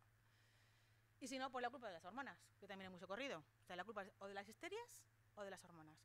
Yo con el, en, el, en el tema de, del túnel carpiano, mm, cuando digo hablar de hormonas me pongo muy nerviosa, porque es verdad, es verdad la laxitud, es verdad el tema de la menopausia, pero qué curioso, o sea, siempre que tengo una trabajadora, una trabajadora de un hotel que hace 20 camas al día, porque más las han externalizado y les pagan eh, por 50 camas al día y si no y no llegan, no llegan, no llegan, no llegan y además ellas se levantan y se toman un analgésico para poder aguantar la mañana, a media mañana otro porque si no no aguantan el dolor de espalda o el dolor de brazos, el dolor de hombros y luego por la noche se toman un relajante o se toman un, un ansiolítico un antidepresivo o una pastilla para dormir porque si no no pueden dormir del dolor que tienen, ¿no? Pero sin embargo tiene un túnel carpiano y es que eres menopáusica. Entonces ya estás en la fase posmenopáusica ya tiene que ver con, con, esto, no tiene que ver con tu trabajo, ¿no? Por digo que, o por ejemplo este que es un caso curioso que os pongo ahí, ¿no? que lo leí en un libro y esto ya es el colmo. Aunque no se ha demostrado el mecanismo íntimo, cuidado, no se ha demostrado, se sospecha que hay una influencia hormonal. Porque los nódulos, los nódulos que aparecen en cantantes, o todo en, la, en docentes, que hay muchas mujeres, los nódulos son excepcionales entre los varones, salvo en la infancia, etapa en la que no hay diferencia de sexos, y son muy raros entre las mujeres posmenopáusicas. Entonces hay una influencia hormonal. O sea, no tiene que ver con que las mujeres estemos haciendo docencia, por ejemplo, ¿no? y que tengamos problemas de nódulos porque estamos ocho horas gritando a los niños en primaria, en infantil, en secundaria. No. Aunque no se ha descubierto el mecanismo, seguro que hay una influencia hormonal. Y estas son las cosas con las que nos encontramos en sitios uh, muy cotidianos. ¿no? Los indicadores en salud tampoco nos ayudan a nosotros en, la salud ocupacional, porque solo tenemos dos, indicadores.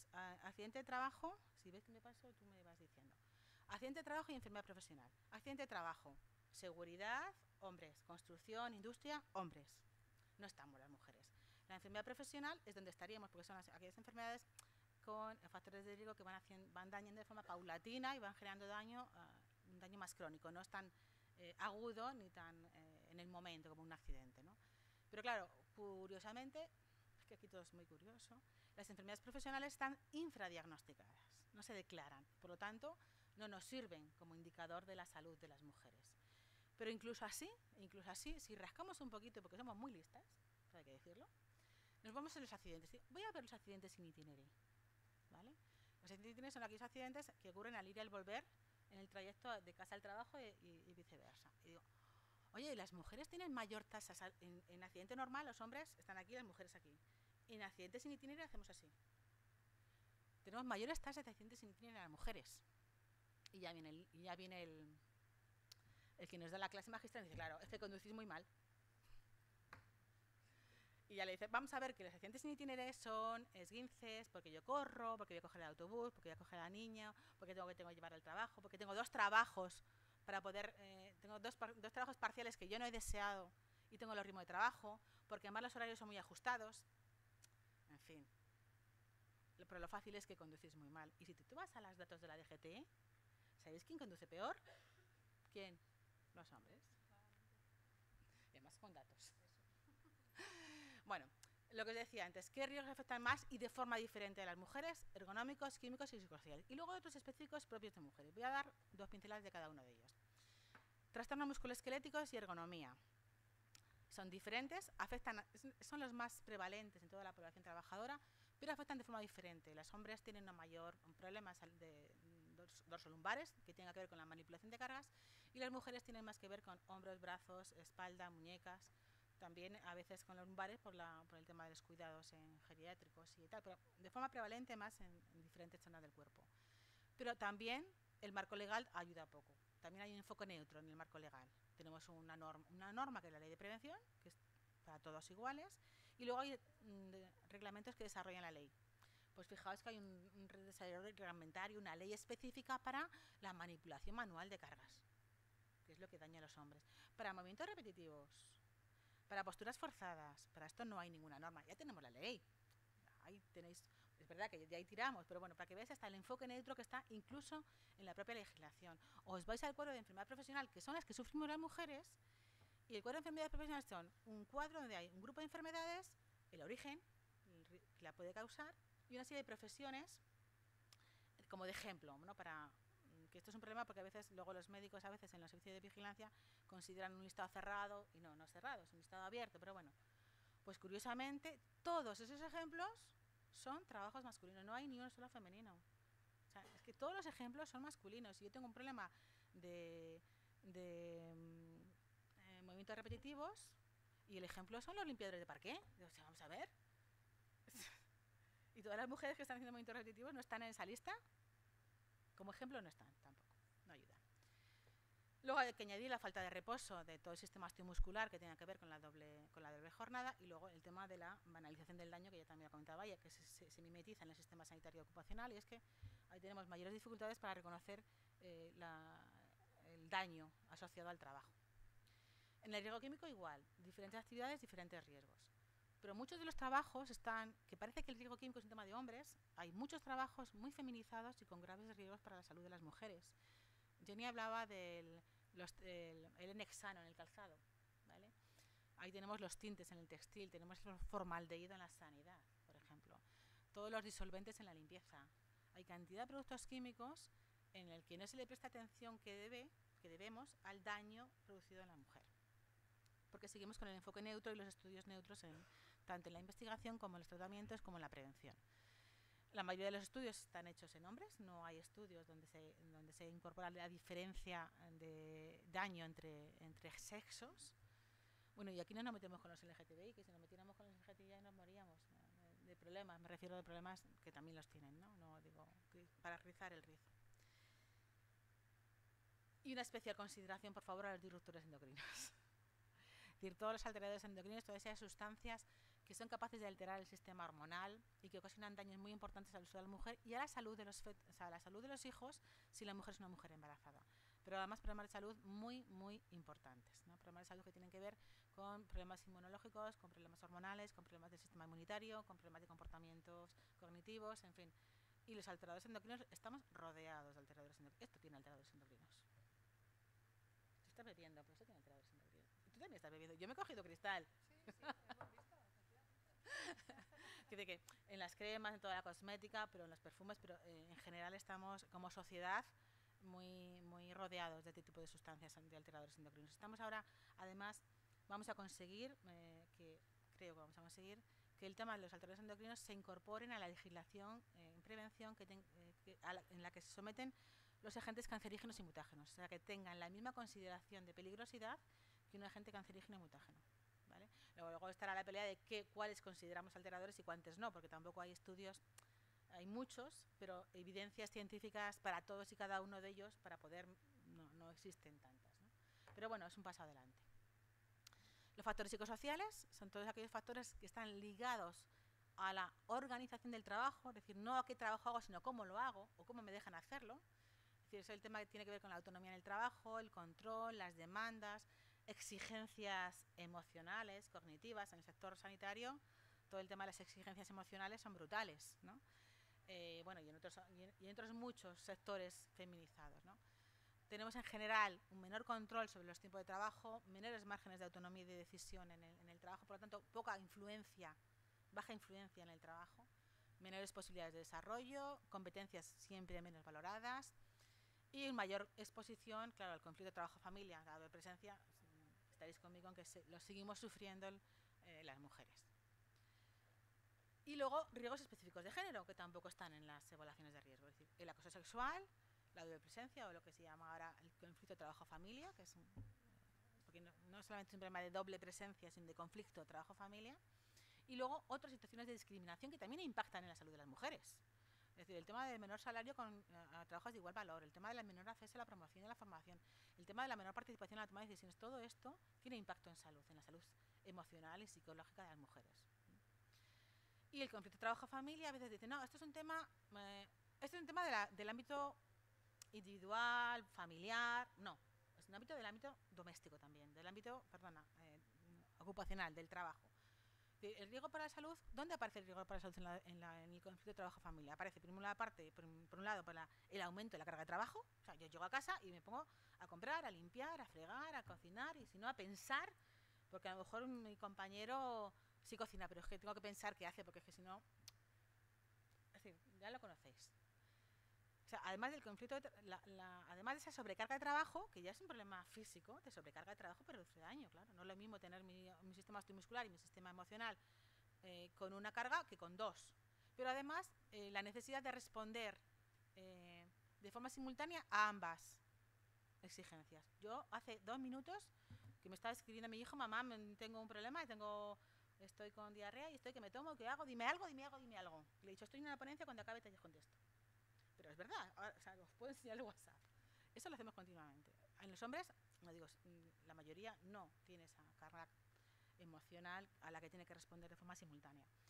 Y que sepáis que para evaluar esto solo existe un método de evaluación de riesgos psicosociales que es el ISTAS 21.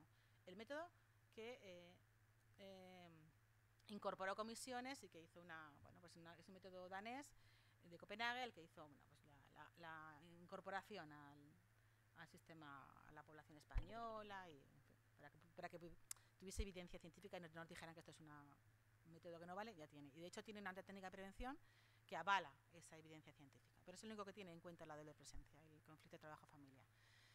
Cuidado con el embarazo y la reproducción. Eh, hay un marco legal que sí está en la, pre- en la ley de prevención, el artículo de protección de la maternidad y de, y de la protección de la reproducción, las dos cosas, pero se sigue considerando a la mujer eh, más vulnerable a los riesgos para la reproducción. Y también os voy a contar otra cosa que me vais a flipar, pero es que hace dos años me invitaron a un congreso de, de la Asociación Española de Médicos de Medicina del Trabajo, especialistas en medicina del trabajo. Y curiosamente me, me me invitaron a que hiciese la parte de embarazo y reproducción, ¿no? pero sobre todo la parte de reproducción. Pues yo conté todo mi rollo de reproducción, de cómo hay que hacerlo, cómo desde comisiones entendemos que hay que hacer las cosas. Y bueno, pues ya hice la exposición y yo me bajé y tal. Pues, lo típico que te saluda. Entonces, claro, viene un, un compañero y me dice, claro, ahora lo he entendido. Digo, ¿que has entendido qué? Me dice, claro, yo tenía un problema en empresa, en mi empresa, era un médico de una empresa, una pareja que trabajaba en mi empresa. Entonces, la mujer eh, quería que, que trabajaba en un laboratorio con productos químicos, entonces ella pues eh, que buscaba un embarazo y no conseguía el embarazo. Y no- y, pues la empresa, como además una, pues oye, sí, que hizo la medición, estás expuesta a un agente químico, te sacamos, de la, te sacamos del ámbito del laboratorio y vas a estar eh, hasta que te quedes embarazada en tu época fértil, fuera del laboratorio, para que tú... Y nada, la ch- compañera seguía sin poder quedarse embarazada, sin poder quedarse embarazada. Digo, ah. Digo, y pues me lo cuenta, dice, porque su compañero trabajaba ahí en el mismo laboratorio y estaba expuesto a los mismos agentes químicos. Y, pero más seguramente no fuera de la mujer, sino del compañero. Que, ah, ah, que te acabas de enterar que en la reproducción ahí hacen falta dos alelos, o sea, dos gametos, ¿no? Bueno, pues nada, es un problema. Ya os digo que esto mm, también son temas así, que, que a veces nos parecen increíbles, pero son luego reales, ¿no? Y luego los criterios paternalistas, muchas veces en las empresas se están manejando criterios paternalistas que lo que están haciendo es un- una clara, un claro incumplimiento de la ley. Y aquí estamos con la prestación del riesgo durante el embarazo y la lactancia, que claro, yo sí tengo, compartiendo una mesa también con unas compañeras de un tema de enfoque de género, pues venían a responsables de recursos humanos de una empresa que hacía el catering para Renfe. Creo que era Renfe o Iberia, no recuerdo. Entonces decía, no, no, yo, ella venía a presentar su experiencia, una, una buena práctica. Y su buena práctica era que mujer que se queda embarazada, mujer que se iba a casa. Mayor protección que esa, ninguna. Pero claro, eh, yo, lo de cambiar las condiciones de trabajo, lo de adaptar el puesto de trabajo, eso es un incumplimiento. Primero es un incumplimiento legal, que tendría que hacerlo. Pero segundo, luego es la idea esta de que yo, lo- de que, claro, y que además como protección te tengo que sacar fuera del puesto de trabajo. Y no tiene que ver con que la mujer estaba, mm, que a lo mejor había que quitarla, cuidado, que a lo mejor había que quitarla porque eh, si al final estás ocho horas de pie en un cubículo así, preparando no sé qué, a lo mejor las condiciones de trabajo hacían que tuviera que tener la prestación. Pero es que ni si se lo plantearon. O sea, la práctica era embarazada fuera de la empresa. Y así las protegemos. Eso es un criterio paternalista y además, en este caso, hecho por una mujer y además que incumplía la ley de prevención de riesgos laborales. Tenemos un problema con el embarazo porque además ahora tenemos mm, mm, las mutuas son las que generan en la prestación, las que reconocen la prestación. Tú tienes uno, estás en un puesto de trabajo donde hay un riesgo para tu embarazo. Tú tienes que hacer una serie de papeles y que la mutua te tiene que decir sí, sí o no. En tal semana puedes eh, acogerte la prestación porque no hay posibilidades de adaptar, cambiar. Vale, pues ya está, la prestación. Pero aquí tenemos dos problemas ya. Vuelve a haber otro problema. Eh, hay un problema, hay un documento que es de prestación y un documento que es preventivo. Todas las mutuas que hacen coger el de prestación, que es el, el más laxo. Entonces estamos continuamente peleándonos porque una trabajadora que tenga X exposición no tiene que estar en, en el trabajo a las 25 semanas, se tiene que ir a las 20. porque el término preventivo, pero como hay dos documentos oficiales, bueno, yo espero que esto en la estrategia española que estamos a punto de cerrar, seamos capaces de cerrarlo. Pero hasta en este punto de, la, de la protección del embarazo, mm, seguimos teniendo criterios, en este caso no son paternalistas, en este caso son puramente economicistas, los de los de Seguridad Social concretamente, y, y de AMAT y de la SEGO. ¿Hay sesgos de género en la prevención? Pues yo creo que ya os lo he dejado evidente. ¿no? O sea, los esfuerzos preventivos ¿dónde están dirigidos? A la seguridad y a los accidentes. El resto no hay que hacer prácticamente nada. De hecho, si en la tele veis algo, tiene que ver con los accidentes. Cuidado que, como os decía antes, hay que hacer planes de choque contra la siniestralidad, porque están muriendo muchos compañeros y además en las condiciones de, trabajo pues, muy, muy, muy precarias. ¿no? Pero se infravalora los riesgos de las mujeres, económicos y psicosociales. Y luego, en la práctica preventiva, los riesgos específicos, el acoso sexual estamos se va consiguiendo incorporar algún tipo de protocolos en, algunas empresas, en convenios colectivos, pero este tiene muy poca presencia. Y luego la discriminación por sexo o por género, prácticamente en ninguno de ellos. Y ya para finalizar, algunas propuestas, como decía, y siempre en comisiones sobre todo, siempre decir, analizamos, diagnosticamos, pero siempre somos proactivos, nunca nos quedamos en, en la queja de que qué mal está, qué mal hace el gobierno o qué mal hacen los empresarios. Siempre hay que dar propuestas, porque las propuestas además son muy concretas y son fáciles de implementar si nos ponemos eh, en marcha todos. ¿no? Lo primero es que exigir que se evalúen todos los riesgos, no solamente los de seguridad, que se evalúen todos los riesgos y todas las tareas. Porque muchas veces lo que aparecen son evaluados riesgos eh, como globales, pero las tareas, como decían, desde mujeres, lo que decía de la limpieza, las tareas son muy diferentes las que realizan las mujeres y las que realizan los hombres. Hay que evaluar la tarea y el riesgo que lleva la tarea. Y además tener en cuenta las características personales, claro, antropométricas, de edad, de antigüedad, pero cuida de mujeres y de hombres, porque además, fijaos, si introducimos, la, eh, introducimos la perspectiva de género en la prevención, estaremos además protegiendo a los hombres. Porque nosotros lo que pedimos es que hay una, prevención que tenga en cuenta las características eh, biológicas y fisiológicas de hombres y mujeres y de género también, lógicamente. ¿no? Luego, entonces, si protegemos, eh, vamos a proteger a toda la población, no solamente a las mujeres. Si introducimos la perspectiva de género, es bueno también para, la población masculina. Eh, en las evaluaciones de riesgos psicosociales, por eso nos empeñamos mucho en el Listas 21, que a veces nos decían que soy muy, pues, ponéis muy pesados con el Listas 21 y comisiones. Claro, como es vuestro método, pues queréis que esté en todas partes. No, es nuestro método, pero es que es el único que incorpora el conflicto de trabajo-familia. El único, el resto no, ni siquiera el oficial del Instituto Nacional. El EFASICO no incorpora la doble presencia, no la tiene en cuenta, no tiene nada que ver. Y hombre, algo tienen que hacer las empresas. La doble presencia, decimos, vale, en, el entorno familiar la corresponsabilidad, vale. Entorno social, el Estado, hombre, claro. El Estado, eh, el sistema de cuidados. ¿no? Tendremos que poner recursos en el sistema de cuidados, en la dependencia, en los cuidados de menores, en, en las discapacidades, en los niños menores de 6 años. Pero luego en la empresa, ah, eso no tiene nada que ver conmigo. ¿Cómo que no tiene nada que ver conmigo? Primero, si yo tengo una sobrecarga cuantitativa, redúceme la sobrecarga. Todas. Cuantitativas y cualitativas. Pero además, puedes hacer mucho con el tema de jornadas. Claro, si yo trabajo en, en Zara, tengo dos niños o un niño. Bueno, como las. Si son muy mayores ya no las contratan, tienen a veces pocos niños. Pero bueno, digamos un niño, ¿no? y, me cambia el horario, si es que esta, esta, tarde, según me estoy aquí, no sé si mañana tengo que empezar a las 7 de la mañana a las 8, o por la tarde, o estoy y me, tur y me doblan turno. El tema de la jornada, la flexibilidad de la jornada, los horarios, es un tema a tener en cuenta en las empresas. Y eso corresponde al ámbito empresarial y corresponde a los factores psicosociales. Luego, entonces, las empresas sí pueden hacer mucho por el tema del conflicto de trabajo-familia. Eh, el tema de los protocolos de las mujeres embarazadas, porque al final eh, mucho protegemos a la mujer embarazada, pero no hacemos un protocolo para decirme no. Si yo tengo un riesgo, tengo un listado, un listado de puestos exentos de riesgo donde tú puedes trabajar, ¿vale? Pocos eh, listados de puestos de exentos de riesgo hemos visto. Exigir EPIs para mujeres, claro. Fijaos, me, es que ya soy un poco mayor, lo de los chascarrillos un poco a veces feo, pero bueno, es que hay veces que te, visualizan las cosas. Eh, unas compañeras del textil eh, me dijeron, oye Carmen, tenemos muchos problemas de muscular. Yo dije, hombre, claro, normal, con el tipo de trabajo que hacéis. Bueno, pero aún así, eh, hazme, déjame que haga una visita a la empresa. Tú gestiona con la empresa, que nos deje hacer una visita y así con el servicio de prevención, los técnicos de prevención, los delegados, hacemos una visita, bueno, pues de, de compartir dónde podíamos mejorar. ¿no? Habíamos hecho además previamente una encuesta de salud y teníamos datos de alteraciones de hombros, hombros manos, muñecas en, en, cifras escandalosas, 80% de las mujeres, 90% de problemas de, hombro, bueno, datos eran bastante importantes, sobre todo asentismo por osteomusculares eran también brutales. Y claro, pues hacemos la visita y de repente las veo a las chicas y digo, Dios santo. O sea, yo me imaginaba el tema del trabajo textil, ¿no? Claro, un trabajo muy, muy de, eh, de manipulación de carga, de movimientos repetitivos continuamente, te lo imaginas, ¿no? Pero claro, cuando llego allí y veo las mesas, digo, ¿pero qué hacéis? Bueno, pues no se les había ocurrido otra cosa al empresario que traerse unas mesas de Alemania, porque se habían dejado a buen precio, unas mesas de Alemania que eran como de... Es decir, yo no, yo no podía llegar. O sea, yo intenté llegar al... no podía llegar. Eran mesas para hombres alemanes que trabajaban en una empresa. Entonces, como se las dejaron a buen precio, se les habían traído a las mujeres para trabajar y, claro, es que, es que ni llegaban, ¿sabes qué? Eh, ni se les había ocurrido que esas mesas no podrían ser las adecuadas.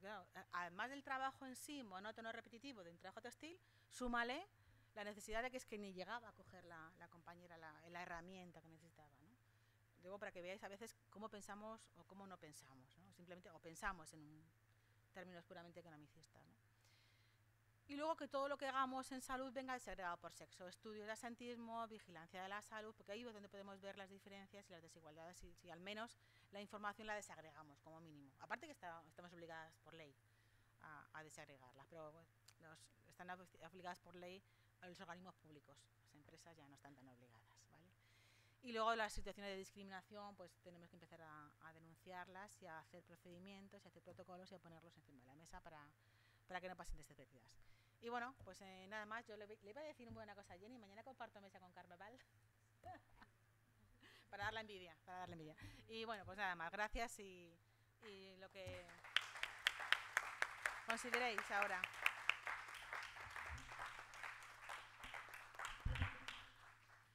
Bueno, pues yo creo que ha quedado evidente la necesidad de esta charla, ¿verdad? Que era importante. ¿Me oís? Eh, ¿Sí? que era importante y, que efectivamente había mucha invisibilidad, ha quedado claro.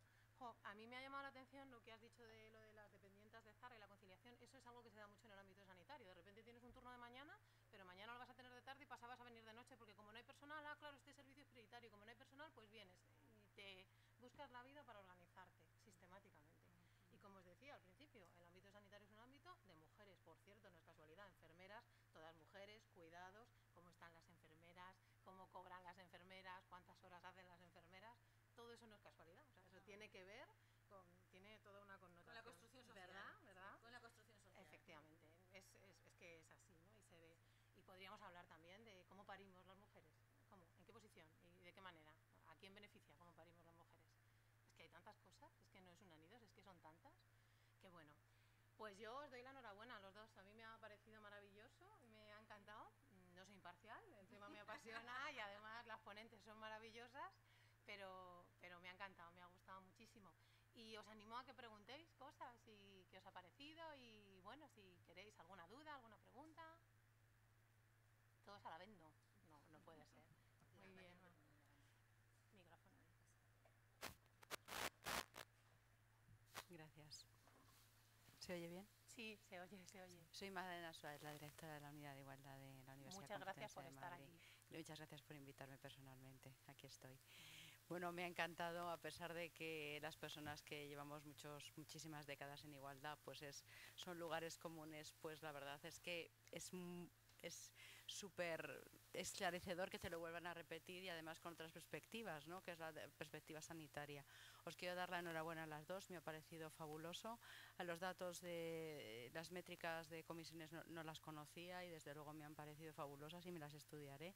Veo que también aquí está la directora de, de la unidad de prevención, mi homónima, por lo tanto, pues, pues también nos pondremos a ello, creo, para, para ver si podemos detectar y, y desde luego aportar también en el seno de la, de la universidad pues, pues todas las cuestiones que verdaderamente todas aquellas que están en datificación siempre son mucho más fáciles de implementar que aquellas que son más, más de corte político ideológico. No, simplemente matizar o aportar, que seguro que sabéis, pero que teníamos que poner en valor tal vez que, que hay mucho iceberg y hay una punta del iceberg que es precisamente la condena a España por el Comité de la CEDAF por un tema de violencia obstétrica yo a mí me está preocupando mucho. Creo que verdaderamente esa, esa resolución del, del Comité, de, ya sabéis, de la ONU de, eliminación de todas las formas de discriminación contra las mujeres, pues creo que también lo deberíamos meter en, en temas relativos a salud, ¿no? Porque verdaderamente el maltrato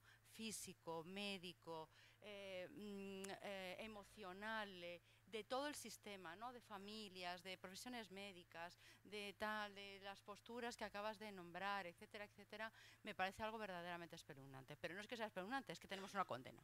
Y sabéis que las dos únicas condenas que tenemos en España, y perdonad la, la clase, son el, en el caso de eh, en el caso de González Parreño, ¿no? cuando un caso de, de violencia vicaria, ¿no? que inaugura España ese concepto de violencia vicaria y el de violencia estétrica. Entonces, pues simplemente se apunte, ¿no? que yo creo que a lo mejor en, en los temas de salud deberíamos apuntar que, que, efectivamente ni más ni menos hemos tenido una condena muy reciente del Comité de la CEDAW.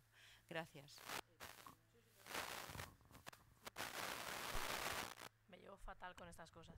Eh, gracias por... Bueno, es un placer que haya mujeres tan maravillosas que lleváis tantos años trabajando en este ámbito. Yo es que me siento como en parvulitos, por así decirlo, y me gusta mucho aprender y escucharos. La violencia obstétrica es una de las cosas que tenía apuntadas para comentar fuera de las, las, diapositivas, pero bueno, a veces los nervios pues me han hecho olvidarme de algunos datos. Para mí la violencia obstétrica es un ejemplo clarísimo de la falta, y perdón por lo que voy a decir, pero la falta de humildad y de autocrítica del sistema sanitario y de los profesionales. Quiero decir, es una oportunidad para sentarnos y decir, decidnos cómo habéis vivido las prácticas sanitarias que llevamos eh, 30, 50, 100 años realizando. Decirnos cómo os habéis sentido cuando os han hecho una, realizado una episiotomía y os ha supuesto una recuperación muchísimo más tardía. En vez de, hacer, eh, en vez de tener esa actitud un poco en pro de la empatía y en pro de, de, aprender, que es lo que tendría que ser, estamos a la defensiva totalmente, bastante sufrimos, bastante hacemos.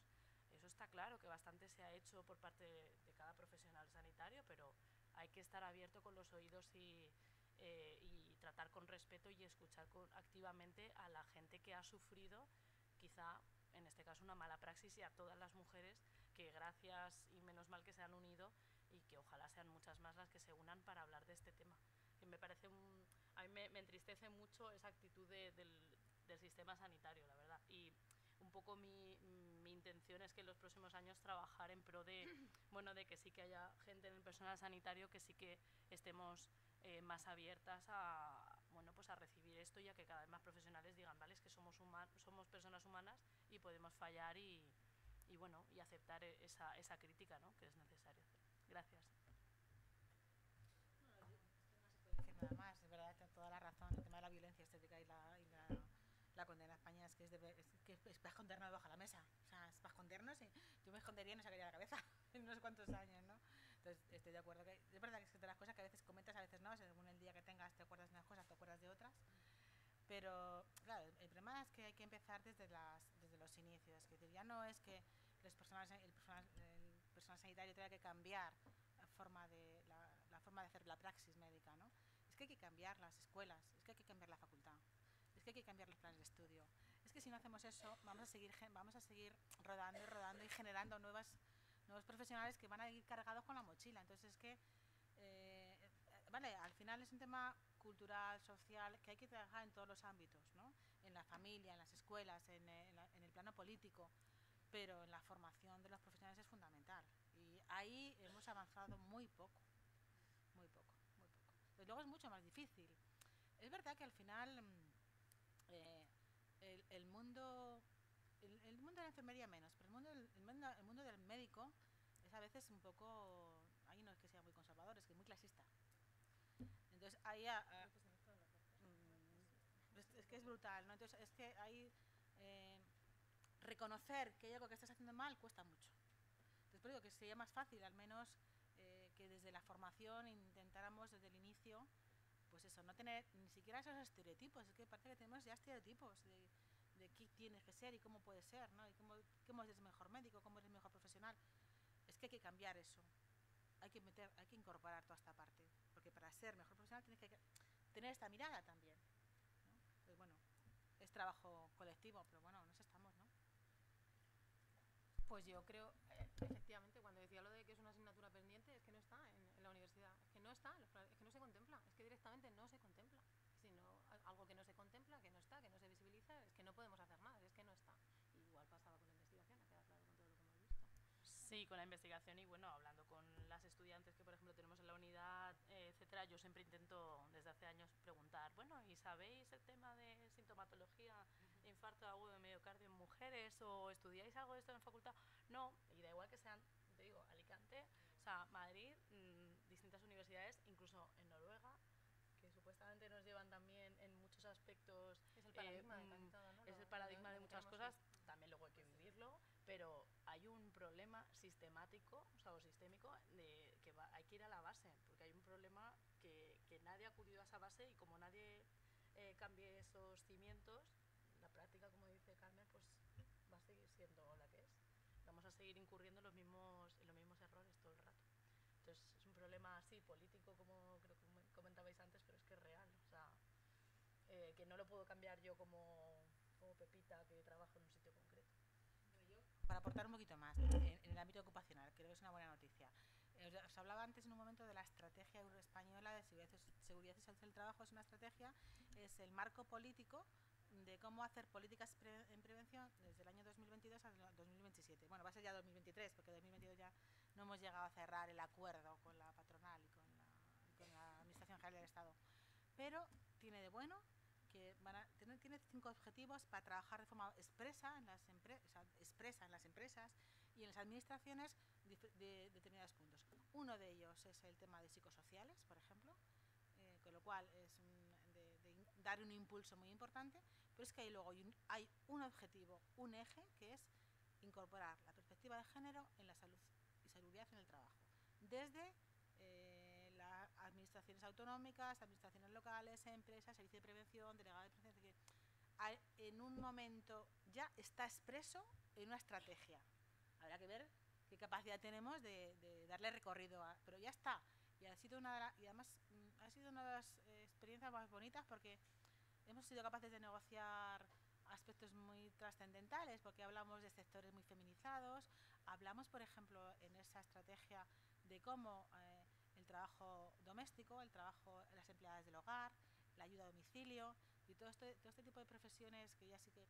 El tema sanitario es un tema eh, muy importante, por ejemplo, y el problema sanitario, por ejemplo, en las residencias geriátricas es brutal, también la carga de trabajo, ¿no? Pero claro, ahí luego hay, hay mujeres, y, eh, puedes decir una idea, ¿no? Las empleadas del hogar, las ayudas a domicilio, que sufren no solamente que no tienen, que tienen salarios que no les llega mmm, ni para que tienen que tener varios trabajos porque no les llega el salario que les dan, sino que además sufren acoso sexual, acoso laboral, eh, la espalda, eh, la cabeza, o sea, todo tipo de, de, donde las condiciones de trabajo son precarias, no, más. Bueno, pues hasta ese, hasta ese base, hasta ese nivel de desagregación hemos sido capaces de, de llegar en la estrategia, ¿no? Hay que abordar y hacer eh, prevención en este en este grupo de trabajadoras. Bueno, yo tengo ilusión de que la estrategia al menos pues no, sí que no sea un, un impulso en prevención de, de, con perspectiva de género. Eso, pero lo hemos peleado para que sea así. Seguro. ¿Alguna cosa, alguna pregunta más? ¿Algo más queréis decir? ¿Alguien que quiera? Ah, muy bien. Soy Carmen y quería hacerles que al sanitario que por qué los mayores estamos excluidos de la sanidad. Porque vamos y a los jóvenes no nos harán caso, para nosotros nada, lo que se dice, nada si vas con un dolor, si no, no, estás un poco loca, es que ya eres mayor y no dicen nada. Pero no te hacen ni caso. Y eso había que también mirarlo de alguna forma, porque los mayores también tenemos, enfermedades, tenemos cosas que nos salen, pero nada. Usted ya, yo por ejemplo fui y le dije al médico que hacía mucho tiempo, ya hace unos años, ¿eh? que no me hacían una mamografía, que por qué no me la hacían. Y me dijo que ya, a usted ya no hay que hacer mamografías, usted ya no las necesita por ejemplo, a mí. A muchas mujeres se lo habrán hecho también. Yo fui con un problema vaginal y me dijo lo mismo. Ese problema que usted tiene, eso no se cura y ya no hace falta que venga usted al médico. Eso fue un médico. Mayor y mujer.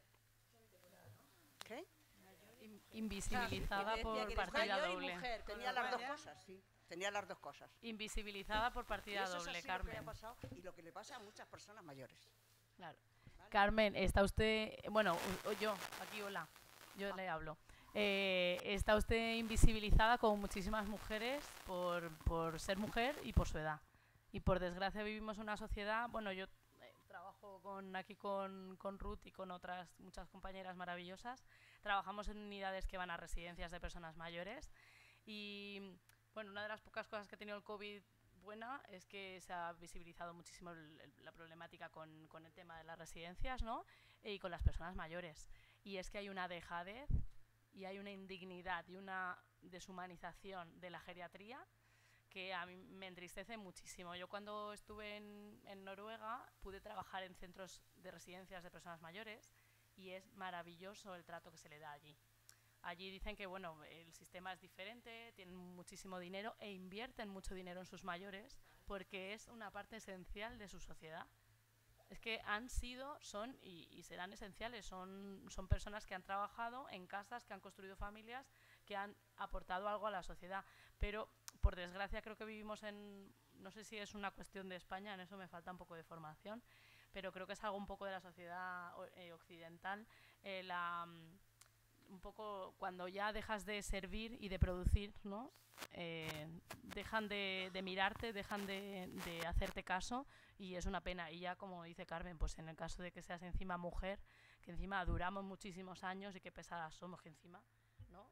Somos las que más Sí. tiempo duramos, las más enfermas, las que más medicación eh, tienen o sea, recetada.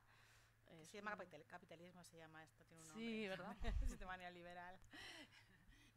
Es verdad. En los países nórdicos, al final, todo el mundo del sistema de cuidados está- mucho más eh, penetrado en la sociedad. Pero es que además, claro, es que pagan impuestos. Y pagan impuestos Muy para altos, eso. además. Y los pagan encantados de la vida. O sea, aquí en España todavía tenemos esa... Bueno, en España y en otros países, porque al final ya, ya no hablamos de España. Si fijáis en Europa, la, la corriente que nos rodea eh, pues es muy, muy, muy peligrosa, ¿no?